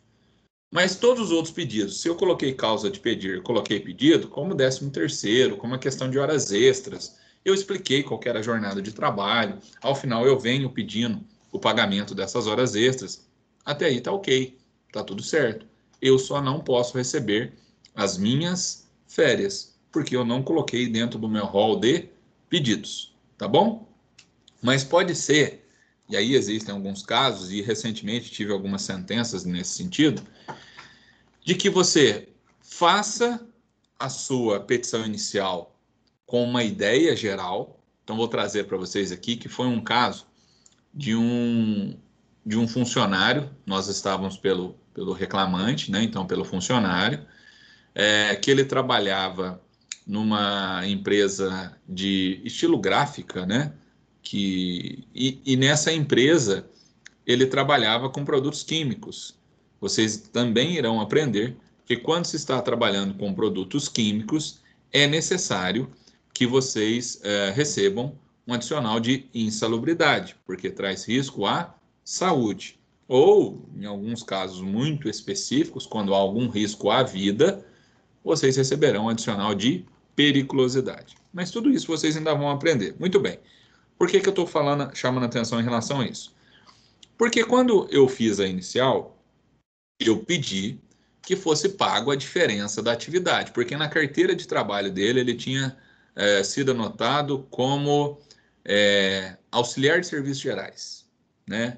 Hoje até já não, a gente já não consegue mais fazer isso, colocar funções genéricas, né? Você precisa, quando está fazendo registro, colocar a função específica da qual o trabalhador irá prestar o seu serviço, mas ele colocou isso na carteira dele, auxiliar de serviços gerais. Mas ali ele trabalhava como operador de plotter, então, eu pedi para que fosse feito o pagamento de acordo com a, a nova função, né? ou de acordo com a função que ele realmente, de fato, exercia dentro da empresa. Mas nos pedidos, e aí vejam, eu não estou querendo dizer que a gente não erra, a gente também erra, somos humanos. Mas nos pedidos eu não coloquei para que fosse feito a retificação da CTPS, da função de auxiliar para a função de operador de plotter. Eu pedi apenas que fosse feito o pagamento. A minha preocupação foi em relação ao pagamento, mas esqueci de pedir para que se fosse colocado essa alteração de função. E o juiz deu não só o pagamento, mas mandou retificar a carteira de trabalho. E aí foi objeto de recurso, obviamente, por parte do reclamante. Ainda não tenho a decisão do tribunal, mas na sentença o juiz coloca que, muito embora eu não tenha feito o pedido relacionado à alteração de atividade, como na causa de pedir, que é onde eu estou narrando os fatos, eu descrevi qual era a atividade que era exercida pelo reclamante, logicamente leva-se a compreensão e a necessidade de alteração da sua função na CTPS. Para mim foi ótimo, porque foi um erro meu, mas o juiz passou por cima do meu erro. O tribunal vai confirmar isso? Eu vou trazer para vocês depois se o tribunal confirmou ou não a decisão em relação à alteração de função. Mas é só para vocês entenderem, tá? Como vocês precisam fazer a construção dos seus parágrafos, a construção dos textos jurídicos de vocês. Então, ao escolher o tema, o autor deve colher informações em fontes confiáveis. Então, vocês estão montando uma petição inicial ou estão fazendo uma defesa. É, é importante que vocês escolham, e aí fazendo sempre o link à nossa outra disciplina, que vocês encontrem jurisprudências sobre esse tema, então julgados relacionados a esse tema, para fundamentar o pedido de vocês. Com certeza, os tribunais são uma fonte confiável, porque é a partir dali, como eu disse na aula de segunda-feira para vocês, que vocês têm uma realidade da prática em relação a uma determinada legislação. Então, jurisprudência seria uma dessas informações, uma dessas fontes confiáveis. Mas também coloquei para vocês na aula de segunda-feira que vocês podem consultar o quê? Doutrina. Vocês podem fazer isso através de é, equiparações, né? Então, equiparando o serviço de um ao serviço de outro, isso também é possível. E fazendo um estudo profundo, a fim de escolher o objeto e posicionar-se em relação a ele. Então, vejam, muitas vezes vocês terão no escritório de vocês alguns casos que chegam que vocês irão analisar, bom, é, eu vou entrar com o processo. Pessoal, tenham sempre consciência jurídica de que se vocês forem entrar com um processo que a chance de êxito é muito pequena, o cliente ele precisa estar ciente disso. Hoje mesmo nós fomos consultados em relação a um caso de, de um senhor que estava fazendo viagem para os Estados Unidos e foi bem no período da pandemia, né, no auge da pandemia, onde os aeroportos foram fechados, não estavam tendo mais voos, e ele ficou preso nos Estados Unidos, não tinha como voltar mas havia-se uma exigência de renovação do seguro internacional. Aqueles que já fizeram viagem internacional sabem que é preciso que você faça um seguro. E ele precisou ficar fazendo essa renovação, né? Em decorrer, até que ele tivesse autorização para voltar ao país, ou que tivesse é, a disponibilidade de aeronaves para isso. E aí ele leu que na, no seguro que esse valor poderia ser reembolsado, né, em quando ele não dá um motivo. E ele não deu um motivo, foi uma pandemia. Só que, ao mesmo tempo em que isso está descrito no seguro, também foram criadas várias diretrizes que autorizam a essas empresas a não fazer a devolução do dinheiro, né? não, não gera nenhum tipo de indenização, mas que, por outro lado, é, ela se sobrepõe à regra geral. Então, compartilhando aqui um outro caso com vocês, de como o nosso judiciário ele é, é, é imprevisível, né? apesar das jurisprudências, você nunca consegue ter um termômetro correto de quanto vai ser o valor de uma indenização ou não. Quando a gente tem um, um, um dano que se chama dano presumido, o que, que vem a ser o dano presumido? É aquele dano do qual não há questionamento. Então imagine a seguinte situação: eu vou e compro uma televisão na Magazine Luiza e compro essa televisão parcelado. Estou pagando rigorosamente em dia o meu parcelamento. E aí a Magazine Luiza vai e coloca o meu nome no serviço de proteção ao crédito, ao crédito no, no SPC alegando que eu não paguei uma das parcelas ou algumas das parcelas. Isso chama-se dano presumido, porque já está previsto que, uma vez que você pagou por essa dívida e ela não foi é, observada pela empresa, houve um erro por parte da empresa que não fez a conferência devida, ela tem que pagar uma indenização. Então, isso gera dano moral. Isso chama-se dano presumido, né? Não só em relação à compra de uma televisão, mas quem tem financiamento de carro, financiamento de casa, são todas as mesmas situações. Muito bem. Em relação à aviação, né, o que existe está relacionado a atraso de voos, né, sem justificativa. Nesse caso da Covid, havia uma justificativa em razão da pandemia, mas quando não há justificativa, também é um dano presumido, gera indenização ou quando há cancelamento de voo, também gera indenização. Então, é, numa das oportunidades que, que eu fui defender um artigo em, em Roma, né, é, eu tinha um voo de Roma para Lisboa e esse voo atrasou para sair de Roma. Nós chegamos em Lisboa, a conexão deveria acontecer às 10 e meia da noite, mas nós chegamos em Lisboa aproximadamente uma hora da manhã. E com todo o, o jeito sutil e delicado dos portugueses, né, como mamutes que são, é, não estou generalizando, mas os que estavam no, no aeroporto eram, simplesmente falaram: olha, o próximo voo de vocês vai ser às 10 horas da manhã, fiquem à vontade aí no, no saguão do, do aeroporto. As nossas malas já tinham sido despachadas, a gente não tinha tempo para poder procurar um hotel, eles não forneceram hotel, e aí ficamos no, no aeroporto por aproximadamente, né, 10 horas até que o próximo voo pudesse sair. Às 11 horas o voo saiu e chegando no Brasil entramos com ação. Existe até algumas regulamentações internacionais sobre essa questão, mas é, fato é que as ações que foram distribuídas em Itajubá e as ações dos outros professores que foram distribuídas em Bauru tiveram resultados diferentes. O mesmo dano, o mesmo tipo de prova, porque tivemos várias fotos, fizemos várias fotos sobre isso, sobre o dano causado, é um dano presumido. As sentenças em Itajubá foram de 3 mil reais, o mero de sabor, conforme constou na sentença, porque o juiz não ficou essas 10 horas lá, senão eu teria certeza que a sentença dele seria maior. E para no, no juizado especial de Bauru, a sentença foi de 12 mil reais.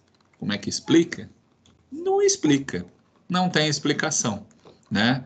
vai do, do livre convencimento dos magistrados, da tabelinha que eles têm na cabeça deles de quanto que vale é, as, digamos assim, essas intercorrências que a gente passa na vida, né?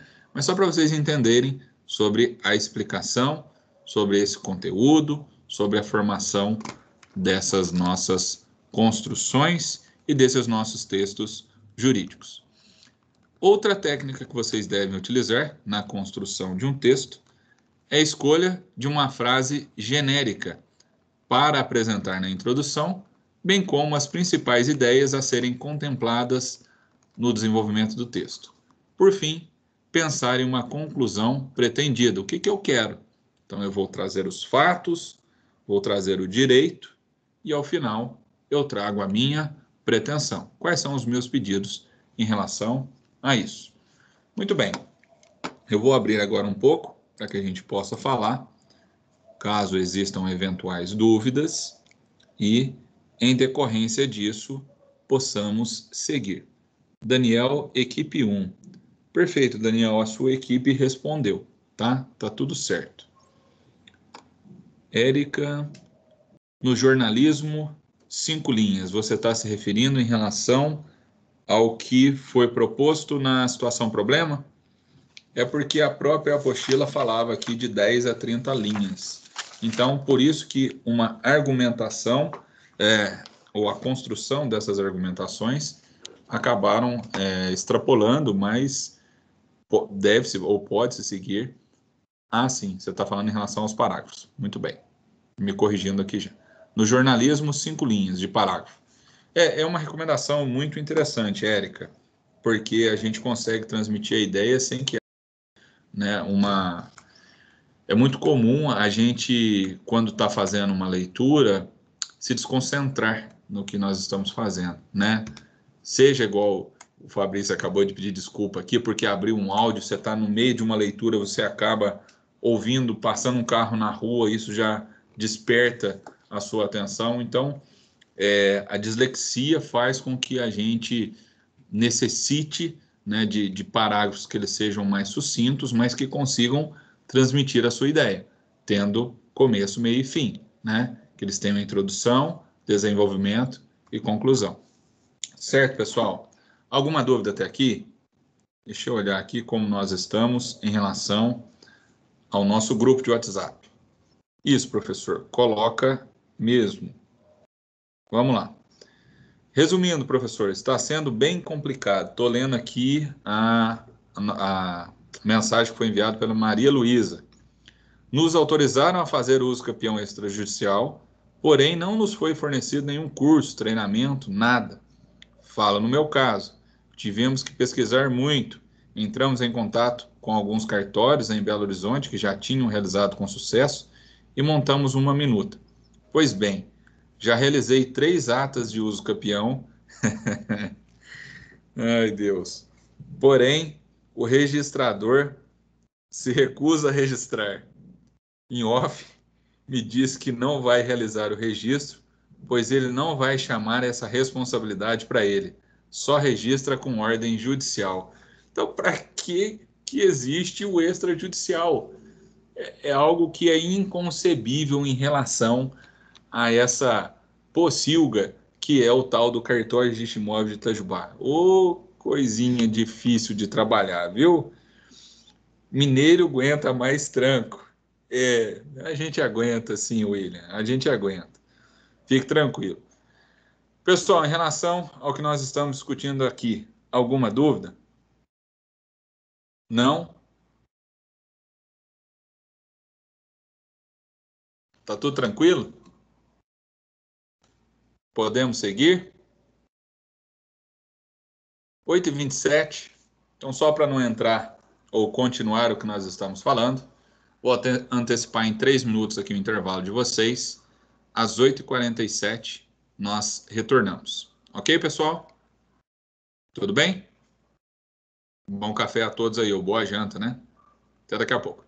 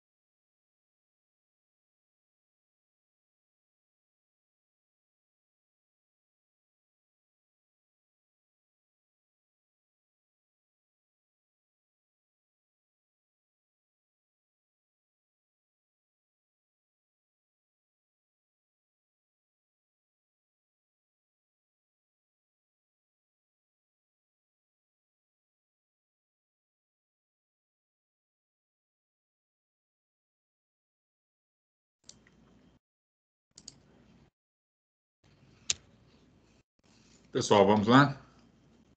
Vamos retornar às nossas atividades? Muito bem. Dando sequência, aqui então, na, antes do intervalo, nós estávamos falando acerca das qualidades essenciais em relação ao parágrafo. Né? Falamos dos cinco itens ou das cinco técnicas que podem ser utilizadas e agora iremos falar então em relação à estrutura de um parágrafo. É, lembrando que muitas vezes esse conceito que nós estamos trabalhando aqui, vocês já ouviram e nós estamos aqui apenas é, fazendo uma. recordando algum desses temas, né? Em especial aqueles que já têm formação. Né? Vamos lá, muito bem. Um parágrafo, como eu disse para vocês, tem que ter início, meio e fim.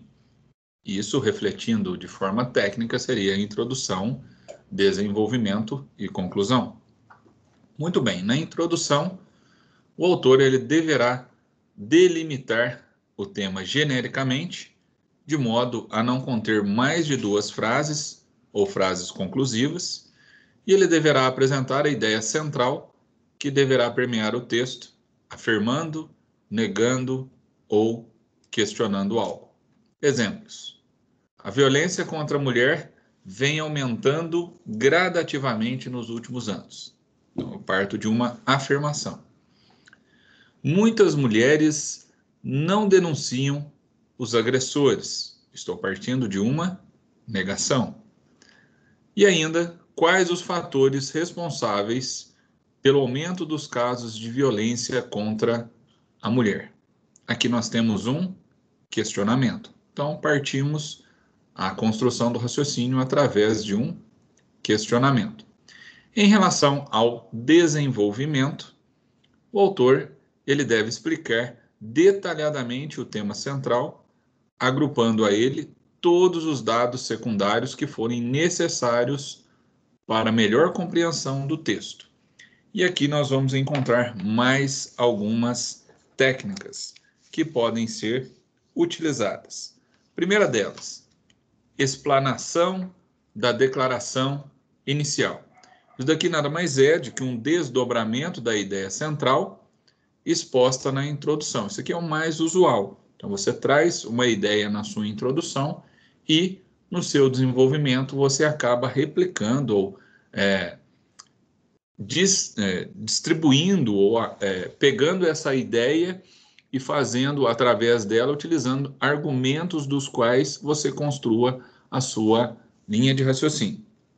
O exemplo que a, o nosso, a, nosso livro traz, né, nosso livro didático, está na página 139.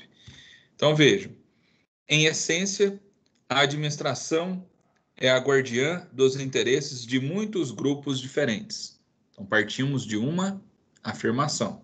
Em essência, a administração é a guardiã dos interesses de muitos grupos diferentes. E aí agora vem o desdobramento. Executa a função de intendência em nome dos proprietários, que buscam um retorno satisfatório para seu investimento. A administração também tem de considerar os melhores interesses dos empregados, os quais procuram um bom pagamento, condições de trabalho seguras e confortáveis, tratamento justo e equitativo, a maior segurança possível no cargo, mais folga e esforço menos cansativo.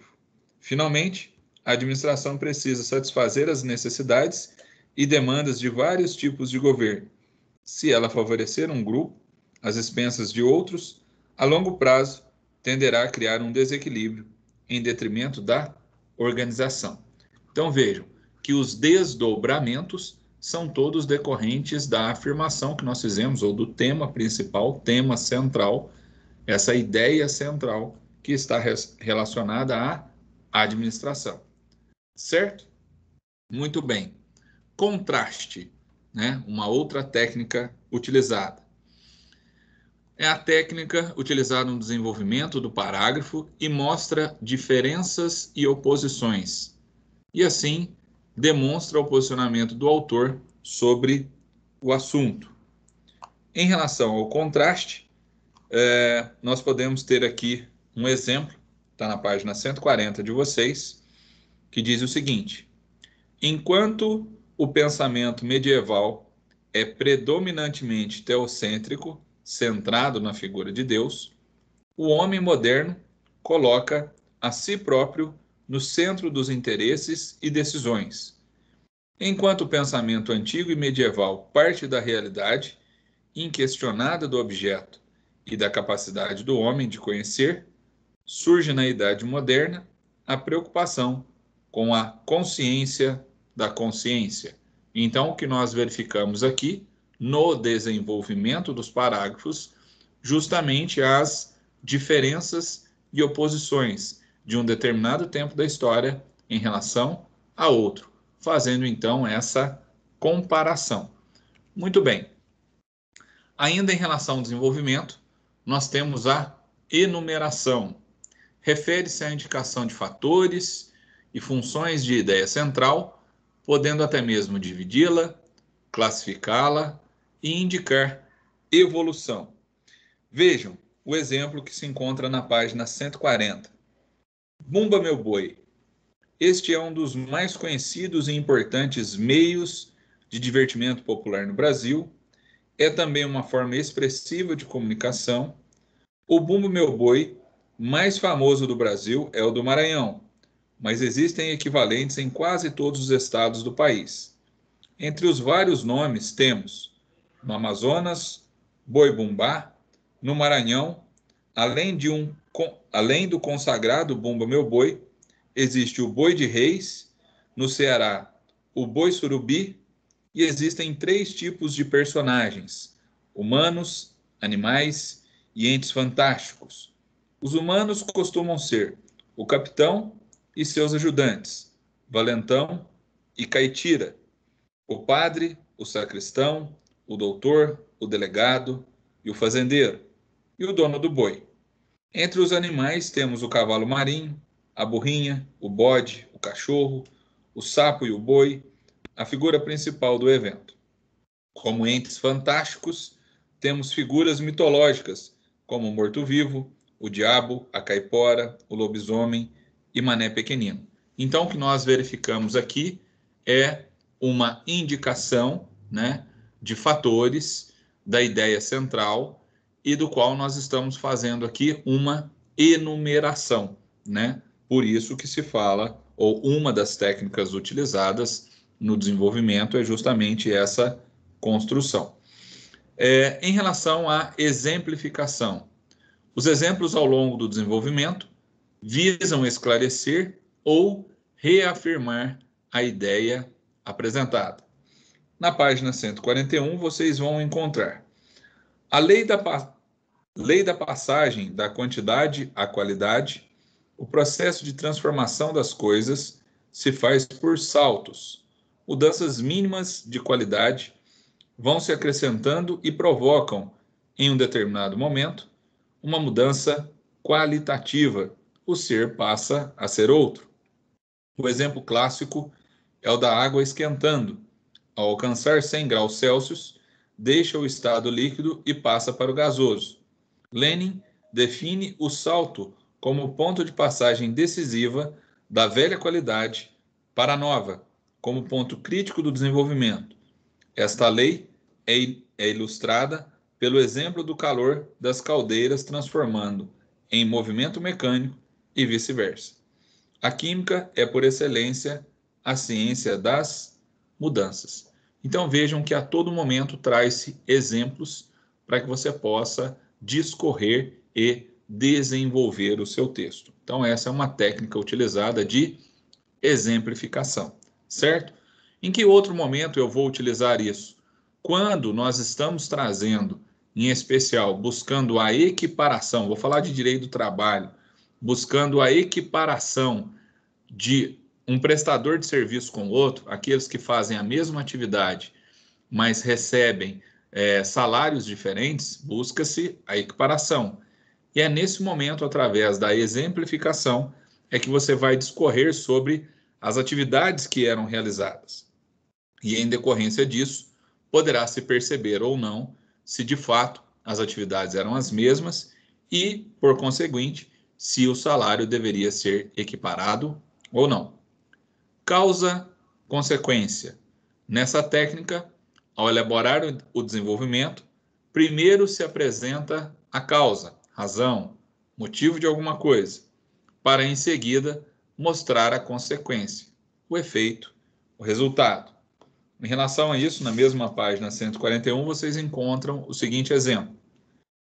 As redações dos jornais brasileiros foram gradativamente se diversificando. Então, estamos partindo de uma afirmação.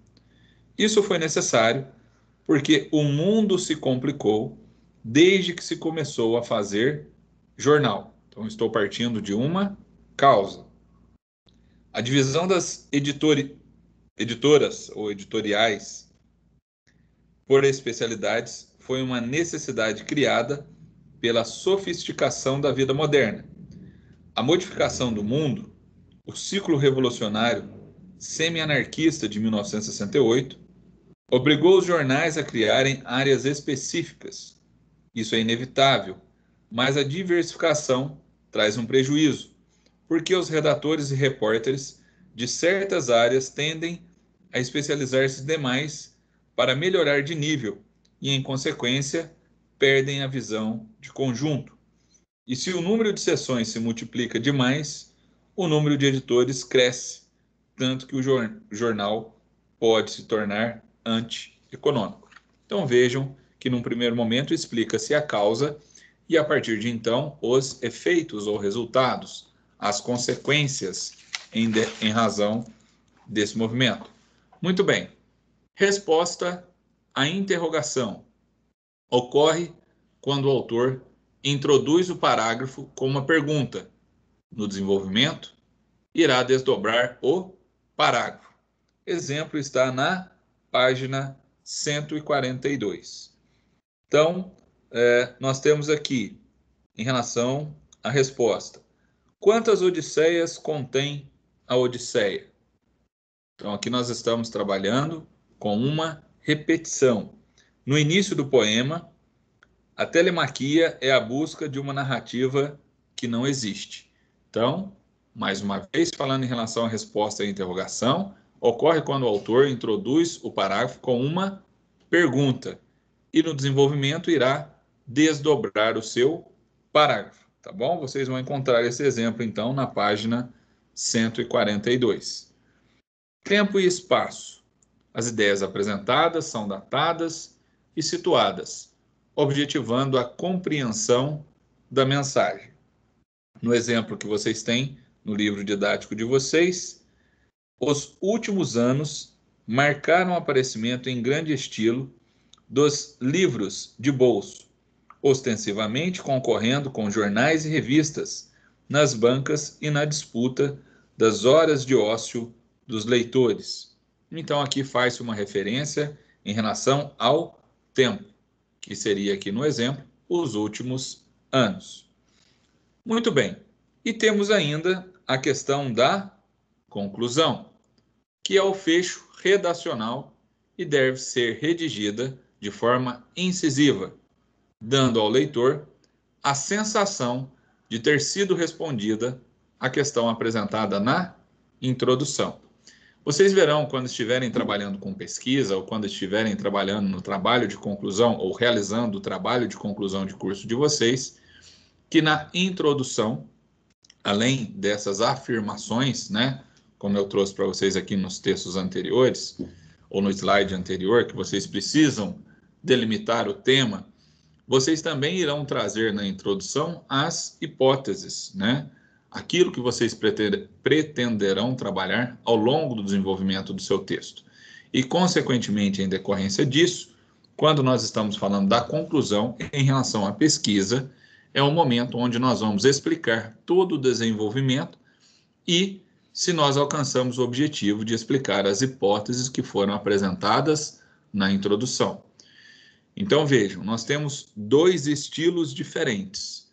Quando nós estamos trabalhando com os textos jurídicos, especificamente em relação às petições, a conclusão será o momento onde nós iremos fazer os nossos pedidos, onde nós, depois de utilizarmos né, do, do primeiro momento que seria a introdução, com a apresentação dos fatos, passando pelo desenvolvimento, que seria o desdobrar desses fatos com os consequentes direitos que foram burlados por uma determinada situação, por, por um determinado fato social, nós chegaremos então à nossa conclusão. E é na conclusão onde nós iremos fazer os nossos pedidos. Ok? Muito bem. E aí nós passamos então a analisar as espécies de redação de parágrafos. Primeira forma ou a primeira modalidade que nós precisamos analisar são os parágrafos descritivos, que constituem uma reprodução da realidade na medida em que objetiva fazer com que o leitor, por meio de uma descrição, visualize uma imagem, um local, uma determinada característica, uma pessoa. Pessoal, eu até coloco aqui na sequência que isso é comumente utilizado nos dicionários de maneira técnica ou informativa, porque deve ser impessoal, mas nós vamos verificar muito disso também quando nós estamos trabalhando com um determinado processo, que nós precisamos descrever as situações que ocorreram para fazer com, aquele, com que aquele que irá julgar o processo, o magistrado, ele consiga vislumbrar né, aquele momento, quais foram as circunstâncias que levaram aquele processo. Então, outro caso prático muito emblemático e interessante para compartilhar com vocês foi um caso que eu tive de um motoboy que ele, na rua da Pai, é, tinha uma, uma caçamba e um carro estava estacionado na contramão de direção. Ao sair com o carro, né, isso foi bem no final da tarde, então veja, eu estou descrevendo todos os fatos para que vocês consigam tentar visualizar a cena. Então tinha um carro estacionado atrás dessa caçamba. Esse carro ele estava estacionado sentido ponte, né? Então não era possível a visualização desse carro. Quem estava vindo de sentido ponte centro. Eu estava representando então esse motoqueiro, né, que estava trabalhando, né, estava dentro das suas funções, vindo da sentido ponte centro. Muito bem. a a pessoa que estava estacionada, ela entrou de uma vez na via e não percebeu ou não viu, né, que esse motoqueiro ele estava vindo, esse motociclista ele estava vindo. E em decorrência disso, houve a colisão. Na colisão, é, o meu cliente ele quebrou a perna em três partes, né, o fêmur, e foi socorrido, foi levado ao hospital. Aí aqui uma das críticas e os nossos queridos é, policiais poderão fazer a, a defesa, né? Quando se fala em relação ao boletim de ocorrência, é, muito embora a fé pública que tenha que ser tenha que ser dada a esse documento, ele é um documento unilateral na maioria das vezes, né? Porque o meu cliente ele estava inconsciente e foi levado ao hospital, socorrido. E quem fez o boletim de ocorrência, nesse caso, foi a, a que causou o acidente, né? E ela colocou como se quem tivesse causado o acidente tivesse sido o motociclista e não ela. Claro que nesse momento é, os policiais eles não estão ali para fazer nenhum tipo de juízo de valor, mas apenas uma anotação da ocorrência, né? E me corrijam aqui os nossos é, policiais, caso eu esteja errado. Muito bem. Ela baseou toda a sua defesa nesse boletim de ocorrência que fez, onde ela atribui toda a responsabilidade do acidente né, ao, ao meu cliente, ou atribuía toda a responsabilidade ao meu cliente. E isso foi comprovado posteriormente de que a culpa tinha sido exclusivamente dela, primeiro por ter parado, né, em sentido contrário ao sentido de circulação e é, por ter tentado entrar a via sem observar se realmente tinha alguém vindo ou não, né? Resumindo o fato, é, isso foi um processo que ele durou aproximadamente é, nove anos, então, para vocês entenderem como o poder judiciário ele é moroso, né? Foi um processo que eu iniciei em 2000 2007 concluí ele em 2016. E foram inúmeras as saídas jurídicas tentadas dentro desse processo, é, de que ele teria sofrido outros acidentes, de que não teria sido o único, a única lesão, né? E para vocês terem noção, até o meu último contato com ele, né, em 2000, até cheguei a encontrar com ele recentemente, mas dentro do processo, como a, a lesão na perna ela foi muito grande e nenhum médico queria fazer a, a cirurgia dele, nem ortopedista queria fazer, o único que se habilitou, ele teve erros médicos, acabou tendo seus erros médicos em decorrência disso, a perna dele teve um encurtamento de 10 centímetros e não bastasse isso, aonde fica, ficou a gaiola, né, onde ficou presa a gaiola na perna dele, até em 2016, quando eu ainda tinha contato com ele, porque ele não tinha recurso para fazer a cirurgia necessária, e pelo SUS ele não estava conseguindo o agendamento, ainda eram expelidos fragmentos de ossos né, decorrentes da, do acidente. Mas, no final das contas, é, conseguimos ter isso no processo, ele recebeu a indenização, conseguiu fazer a cirurgia, é, o encurtamento não havia mais o que se fazer, mas pelo menos essa parte relacionada a, a expelir né, esses fragmentos de, de ossos, ele conseguiu fazer uma nova cirurgia para que houvesse uma amenização e não uma cura, porque, pelo que ele me disse, a patologia não seria possível a cura em relação a isso. Mas é para que vocês consigam entender que é necessário, nesses casos que eles são muito específicos, que vocês descrevam.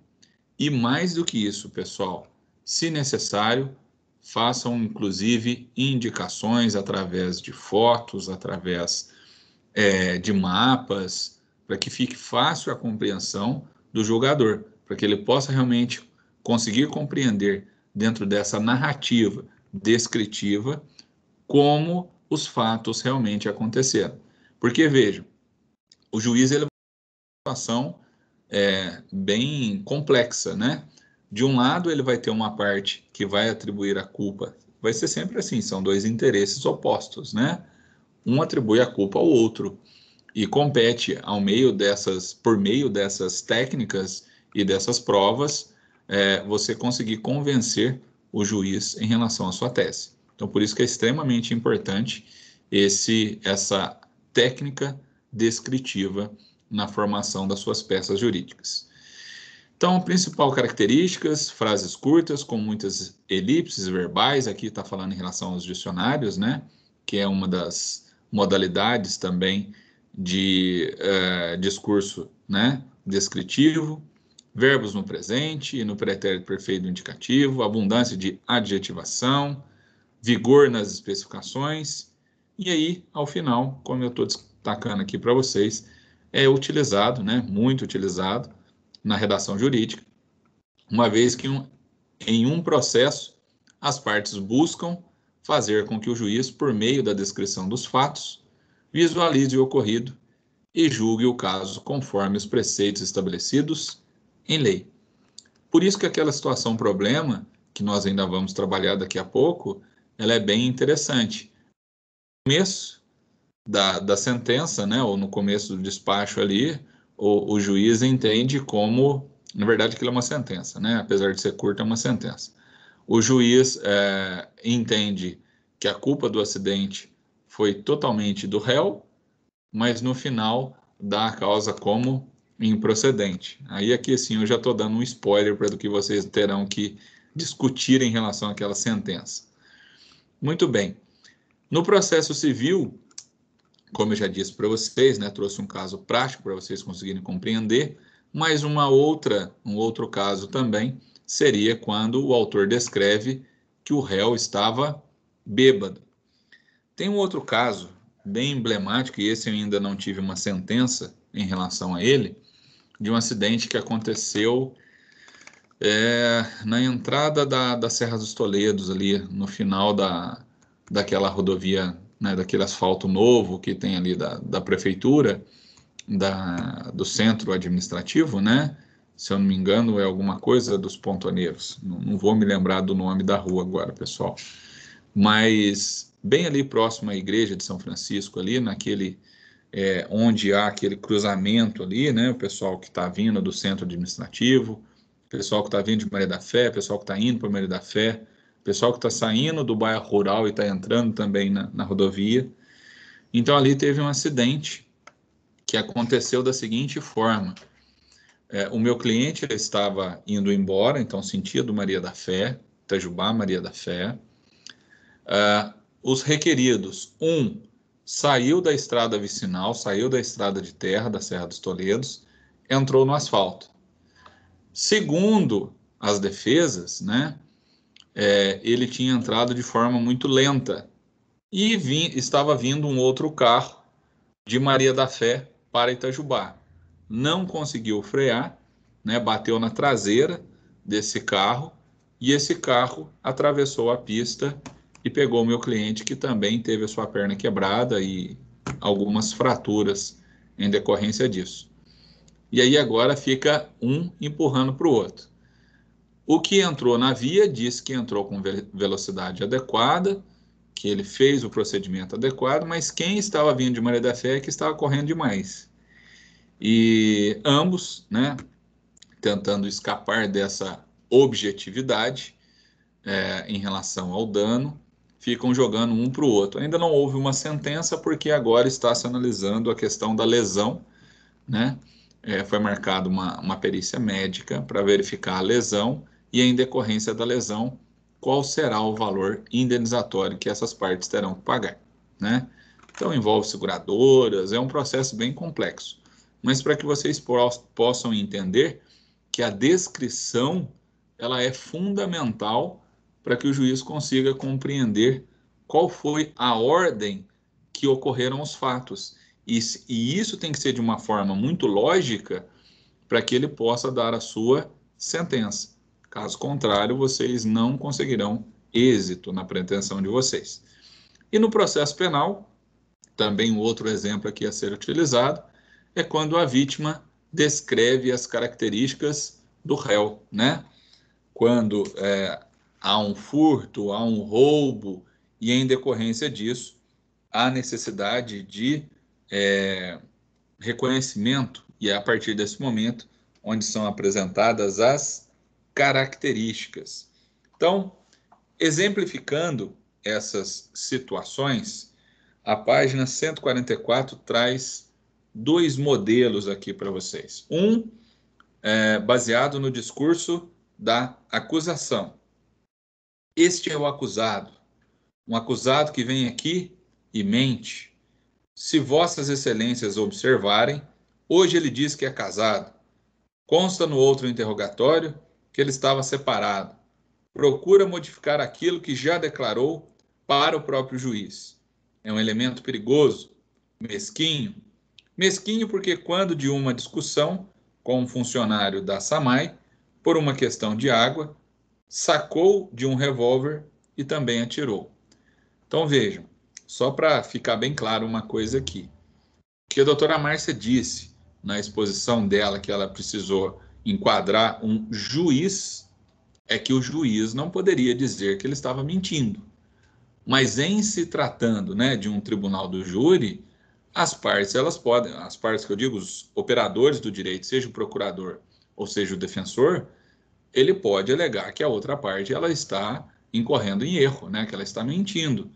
E aí tentar fazer a sua comprovação para que o júri possa então decidir sobre aquela questão. E já o discurso da defesa, veja. Às vezes escapou que, ao invés de justiçar, passa a castigar. É o caso, senhores, típico do acusado. Hoje pintaram um quadro aqui que, se não houvesse alguém para rebater, o acusado apodreceria na cadeia. Excelências, nós vamos nos referir ao acusado, o cidadão, honesto, trabalhador, não é vadio, não é malandro. O acusado foi vítima das circunstâncias. Então vejam, nós conseguimos aqui descrever as duas situações mas ao mesmo tempo defendendo pontos de vistas diferentes. Então, o tema central é diferente, mas aqui essas narrativas refletem muito do que se ocorre, né, em especial em tribunais de júri. Bem interessante também. E quando vocês tiverem oportunidade, né, assim que voltem a ocorrer os tribunais de júri, para que vocês possam acompanhar. Em especial aqueles que têm pretensão né, de seguir na carreira penal. Muito bem. As técnicas ainda dizem que esses parágrafos eles podem ser narrativos. É aquele que expõe os fatos e suas circunstâncias. São elementos estruturais. O que é o fato que o autor pretende contar? Quem são as partes envolvidas no contexto? O como, a forma pela qual o fato ocorreu. Quando? O momento do fato. Por quê? O motivo do fato. E por isso, a consequência do fato. Então, quando nós estamos falando do modelo narrativo, nós estamos tentando fazer a construção e, dentro dessa construção, chegar-se a uma conclusão. Então, a narrativa ela é muito utilizada na redação jurídica. Haja vista que em todas as peças, seja judicial ou extrajudicial, é retratado como ocorreu o fato, as partes envolvidas, o momento, o local, o motivo e qual a pretensão, seja ela do autor ou seja do réu. Acabamos de ver um exemplo aqui que nos traz muito disso. De um lado, nós temos aquele que quer condenar e a, utilizando os seus argumentos para a condenação, e de outro lado, nós temos aquele que quer absolver e utilizando os argumentos para absolvição. Então, a narrativa ela é encontrada nas petições iniciais, na denúncia, na queixa-crime, nas alegações finais, nos relatórios de sentença e no acordo.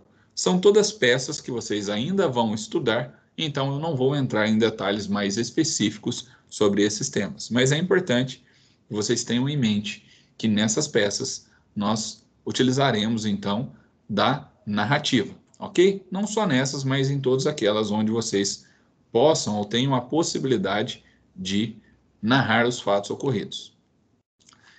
E aí, aqui sim, né, o, o que mais é, ou comumente utilizado, né, que é o parágrafo dissertativo, que, diferentemente do que ocorre com as outras espécies, nesse caso, exige-se o posicionamento do autor perante determinado assunto.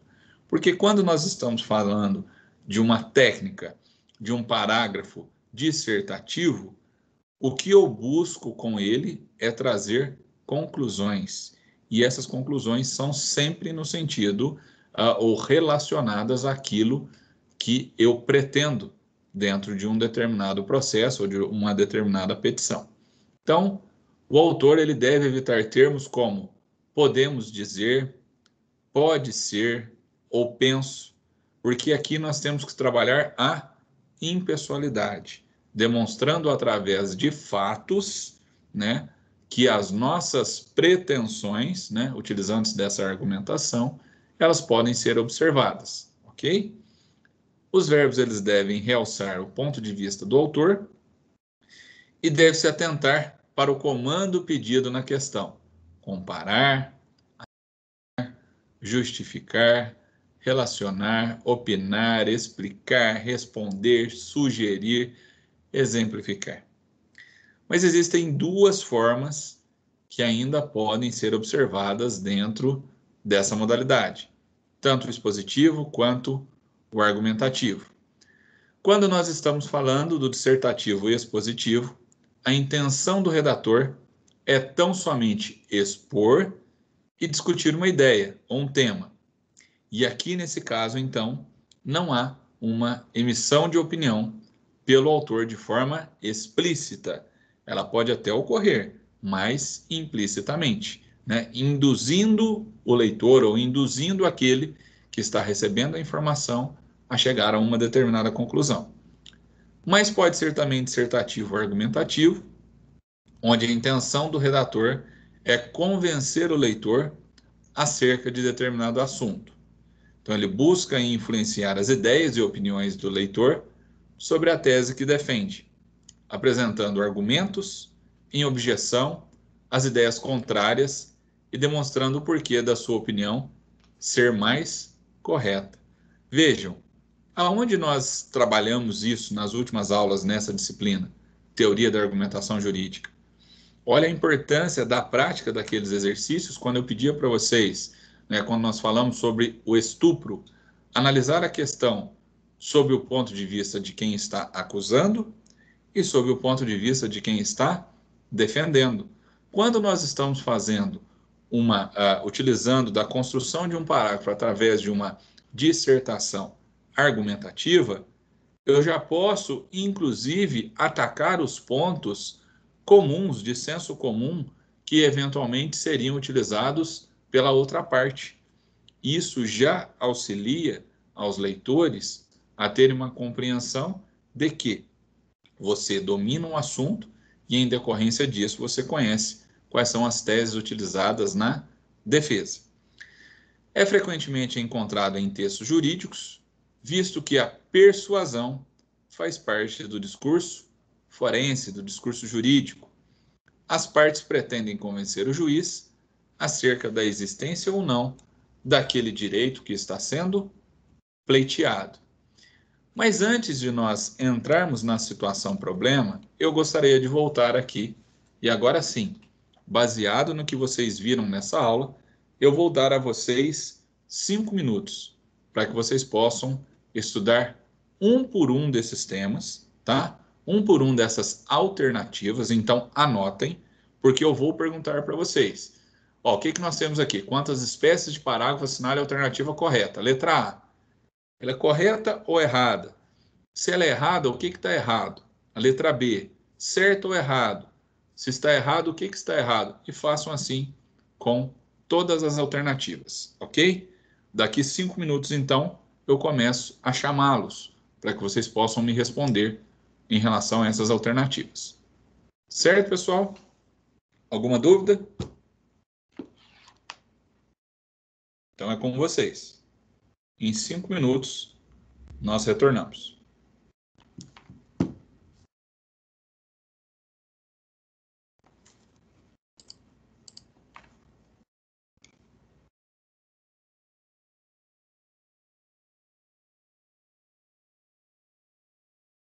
Já respondo sua pergunta, Ana Flávia, assim que a gente retornar. Vou deixar vocês fazerem a atividade primeiro e aí eu respondo.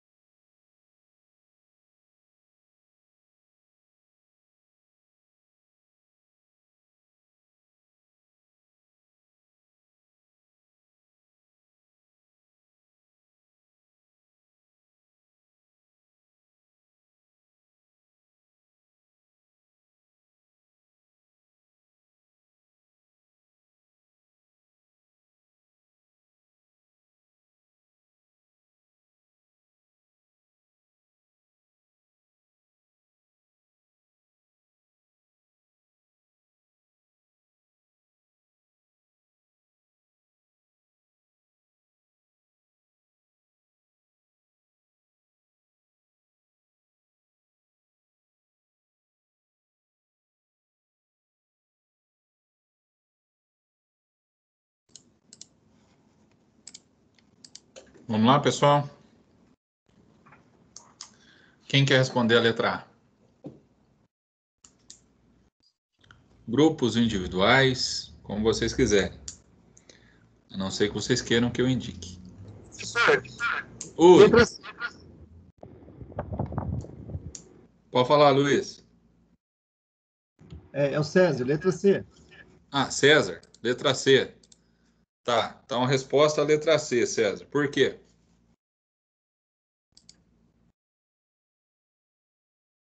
É porque é mais lógico.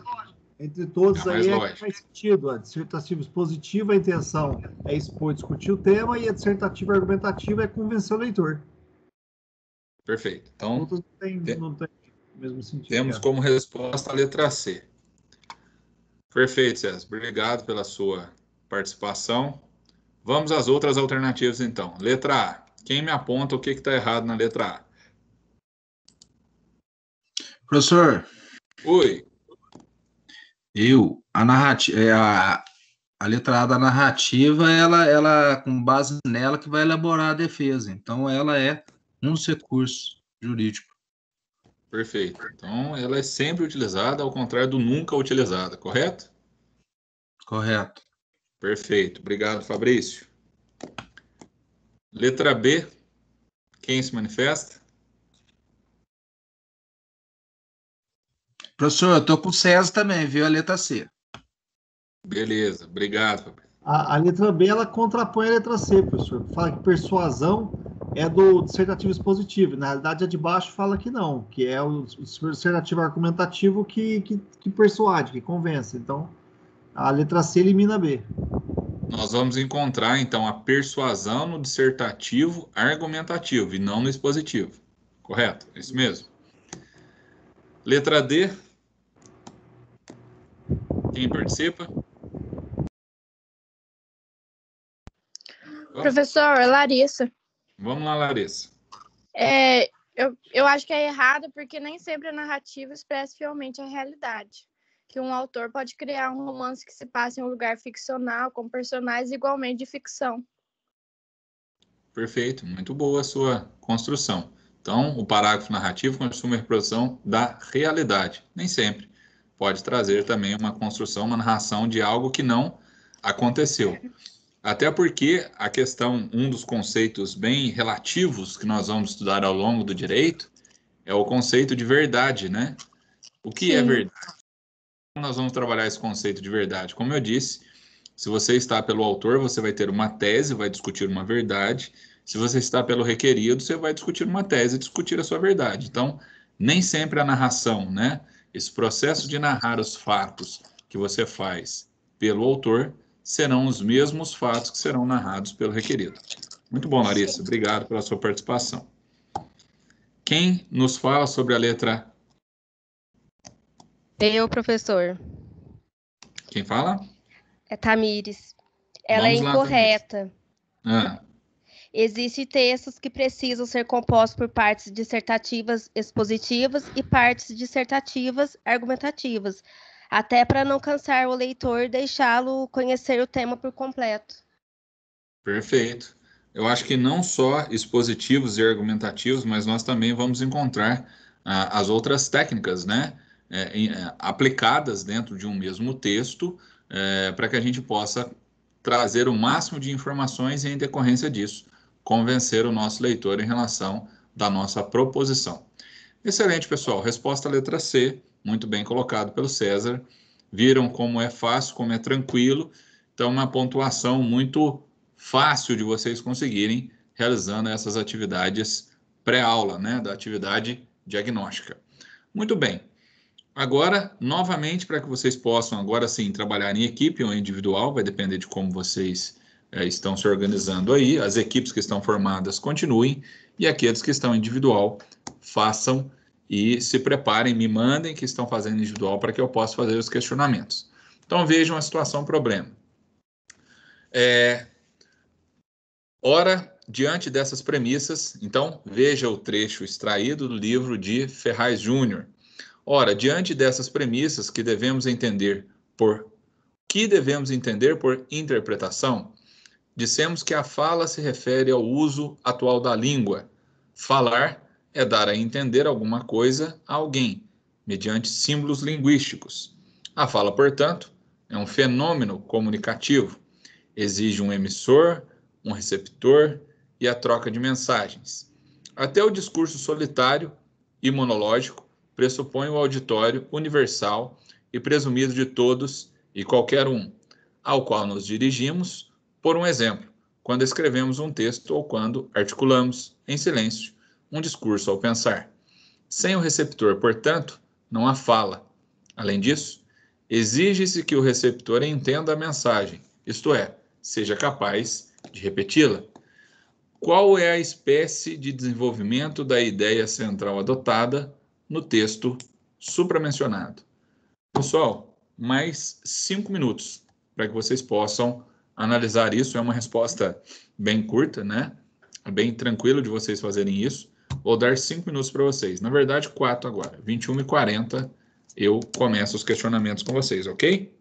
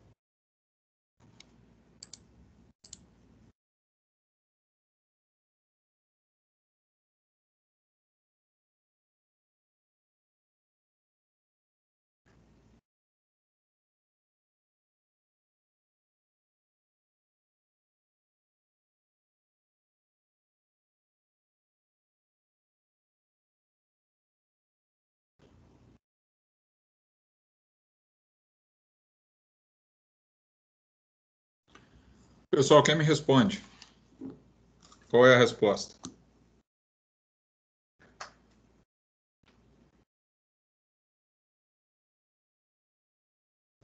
Professor. Quem fala?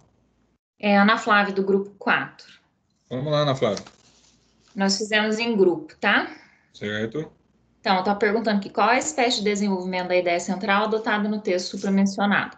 A gente uhum. acredita que seja a ideia é, de uma dissertação.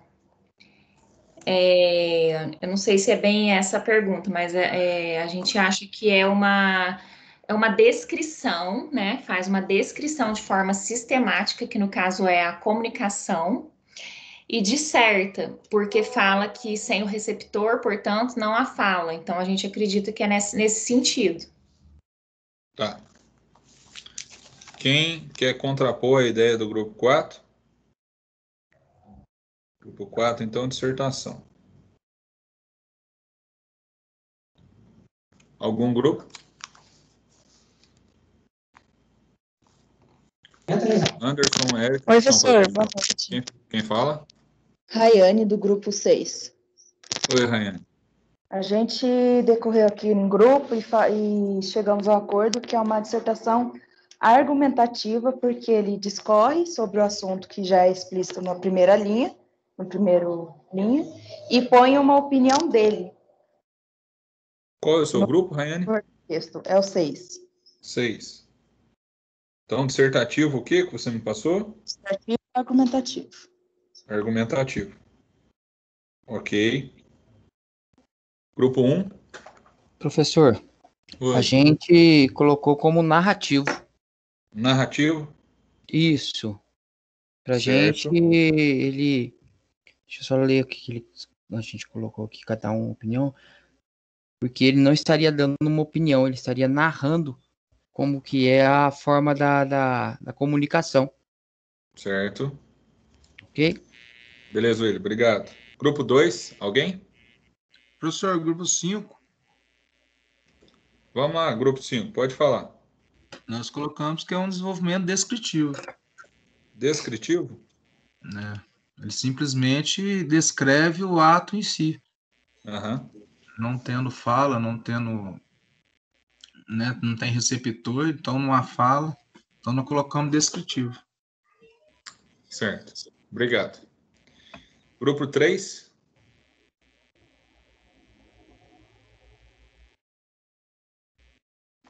Alguém do grupo 3?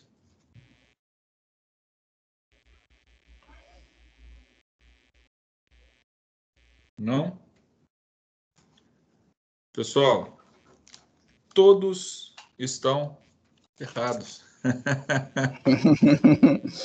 A resposta está na página 149. Achei que vocês iriam olhar o livro didático de vocês. Olha aí o que está.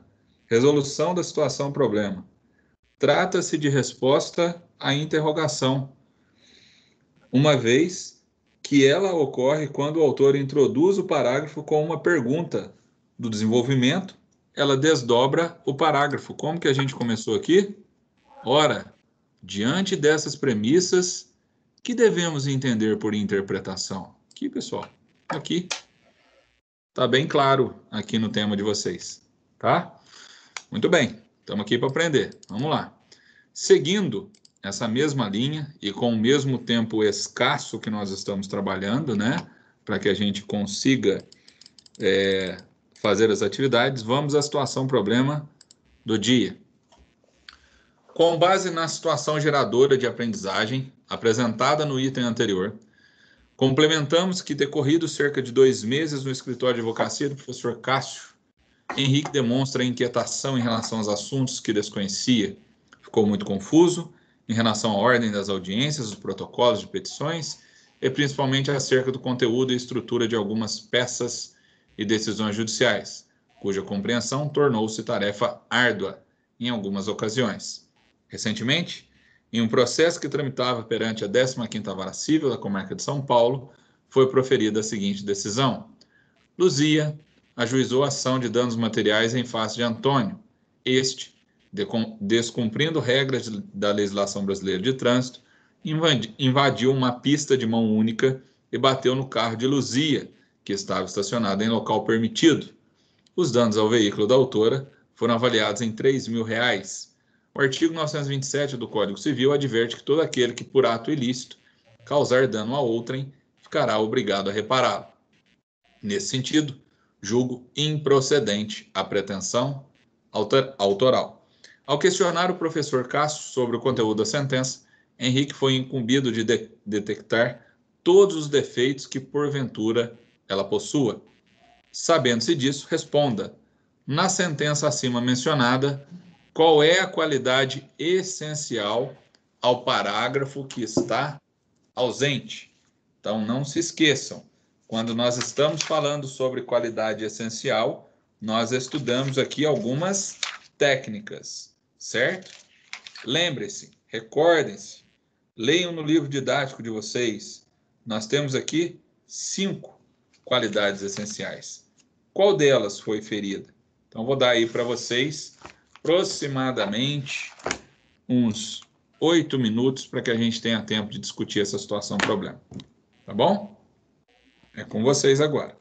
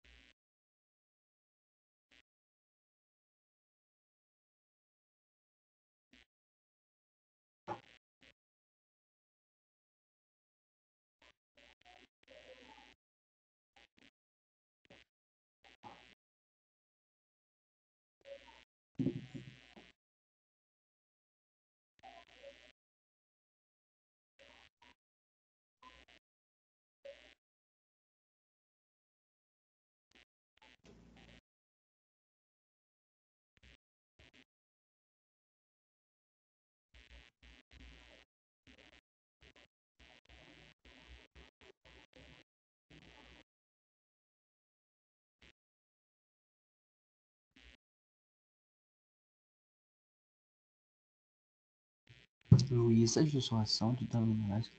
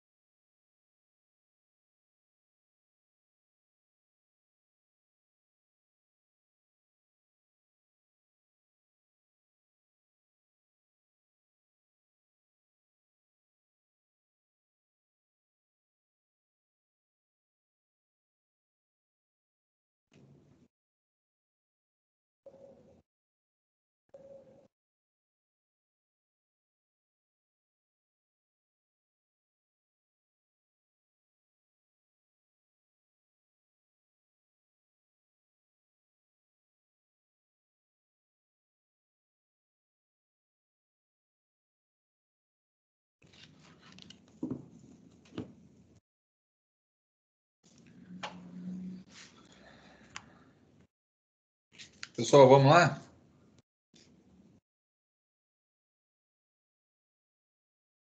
Para todos terem tempo de falar. Pode ser?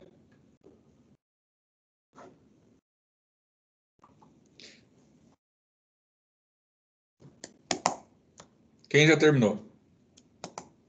Professor, grupo 4. Vamos lá. Então, a gente achou, a gente fez em grupo de novo, é, que faltou, que, que a resposta, que a. É, como é que chama? Que a sentença ela foi inconsistente. Então, a gente acredita que faltou a coerência, uma vez que ele colocou lá que o artigo 927 adverte que todo aquele que por ato ilícito causar dano a outro ficará obrigado a repará-lo. E aí o autor sofreu o dano, né? E aí, no final, julga improcedente. Então, a gente acredita que foi incoerente, falta de coerência. Muito bem. Quem, quem mais já terminou? Grupo 5. Grupo 5, vamos lá. É, como ela falou, a gente também chegou nessa conclusão que a qualidade essencial do parágrafo ele consiste na coerência. E a gente achou incoerente também. Ok. Quem mais?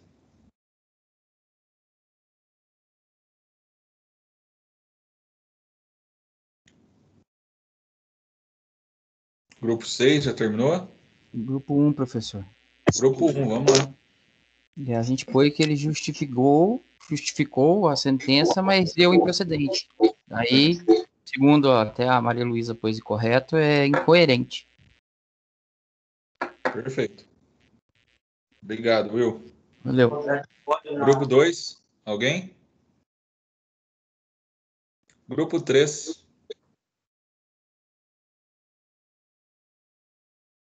Não? É, deixa eu só olhar aqui de novo, que eu não preciso nem chamar.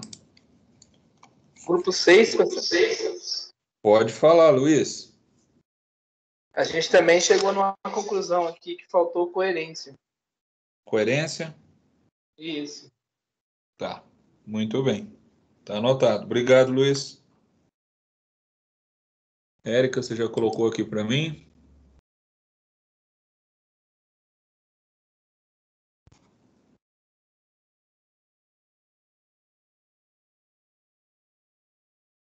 Você falou que falta o porquê. Certo? O Regis. Oi. É, o grupo 5 tem gente falando aqui também que faltou ênfase, concisão e clareza. Ok. Obrigado, Henrique. Grupo 7.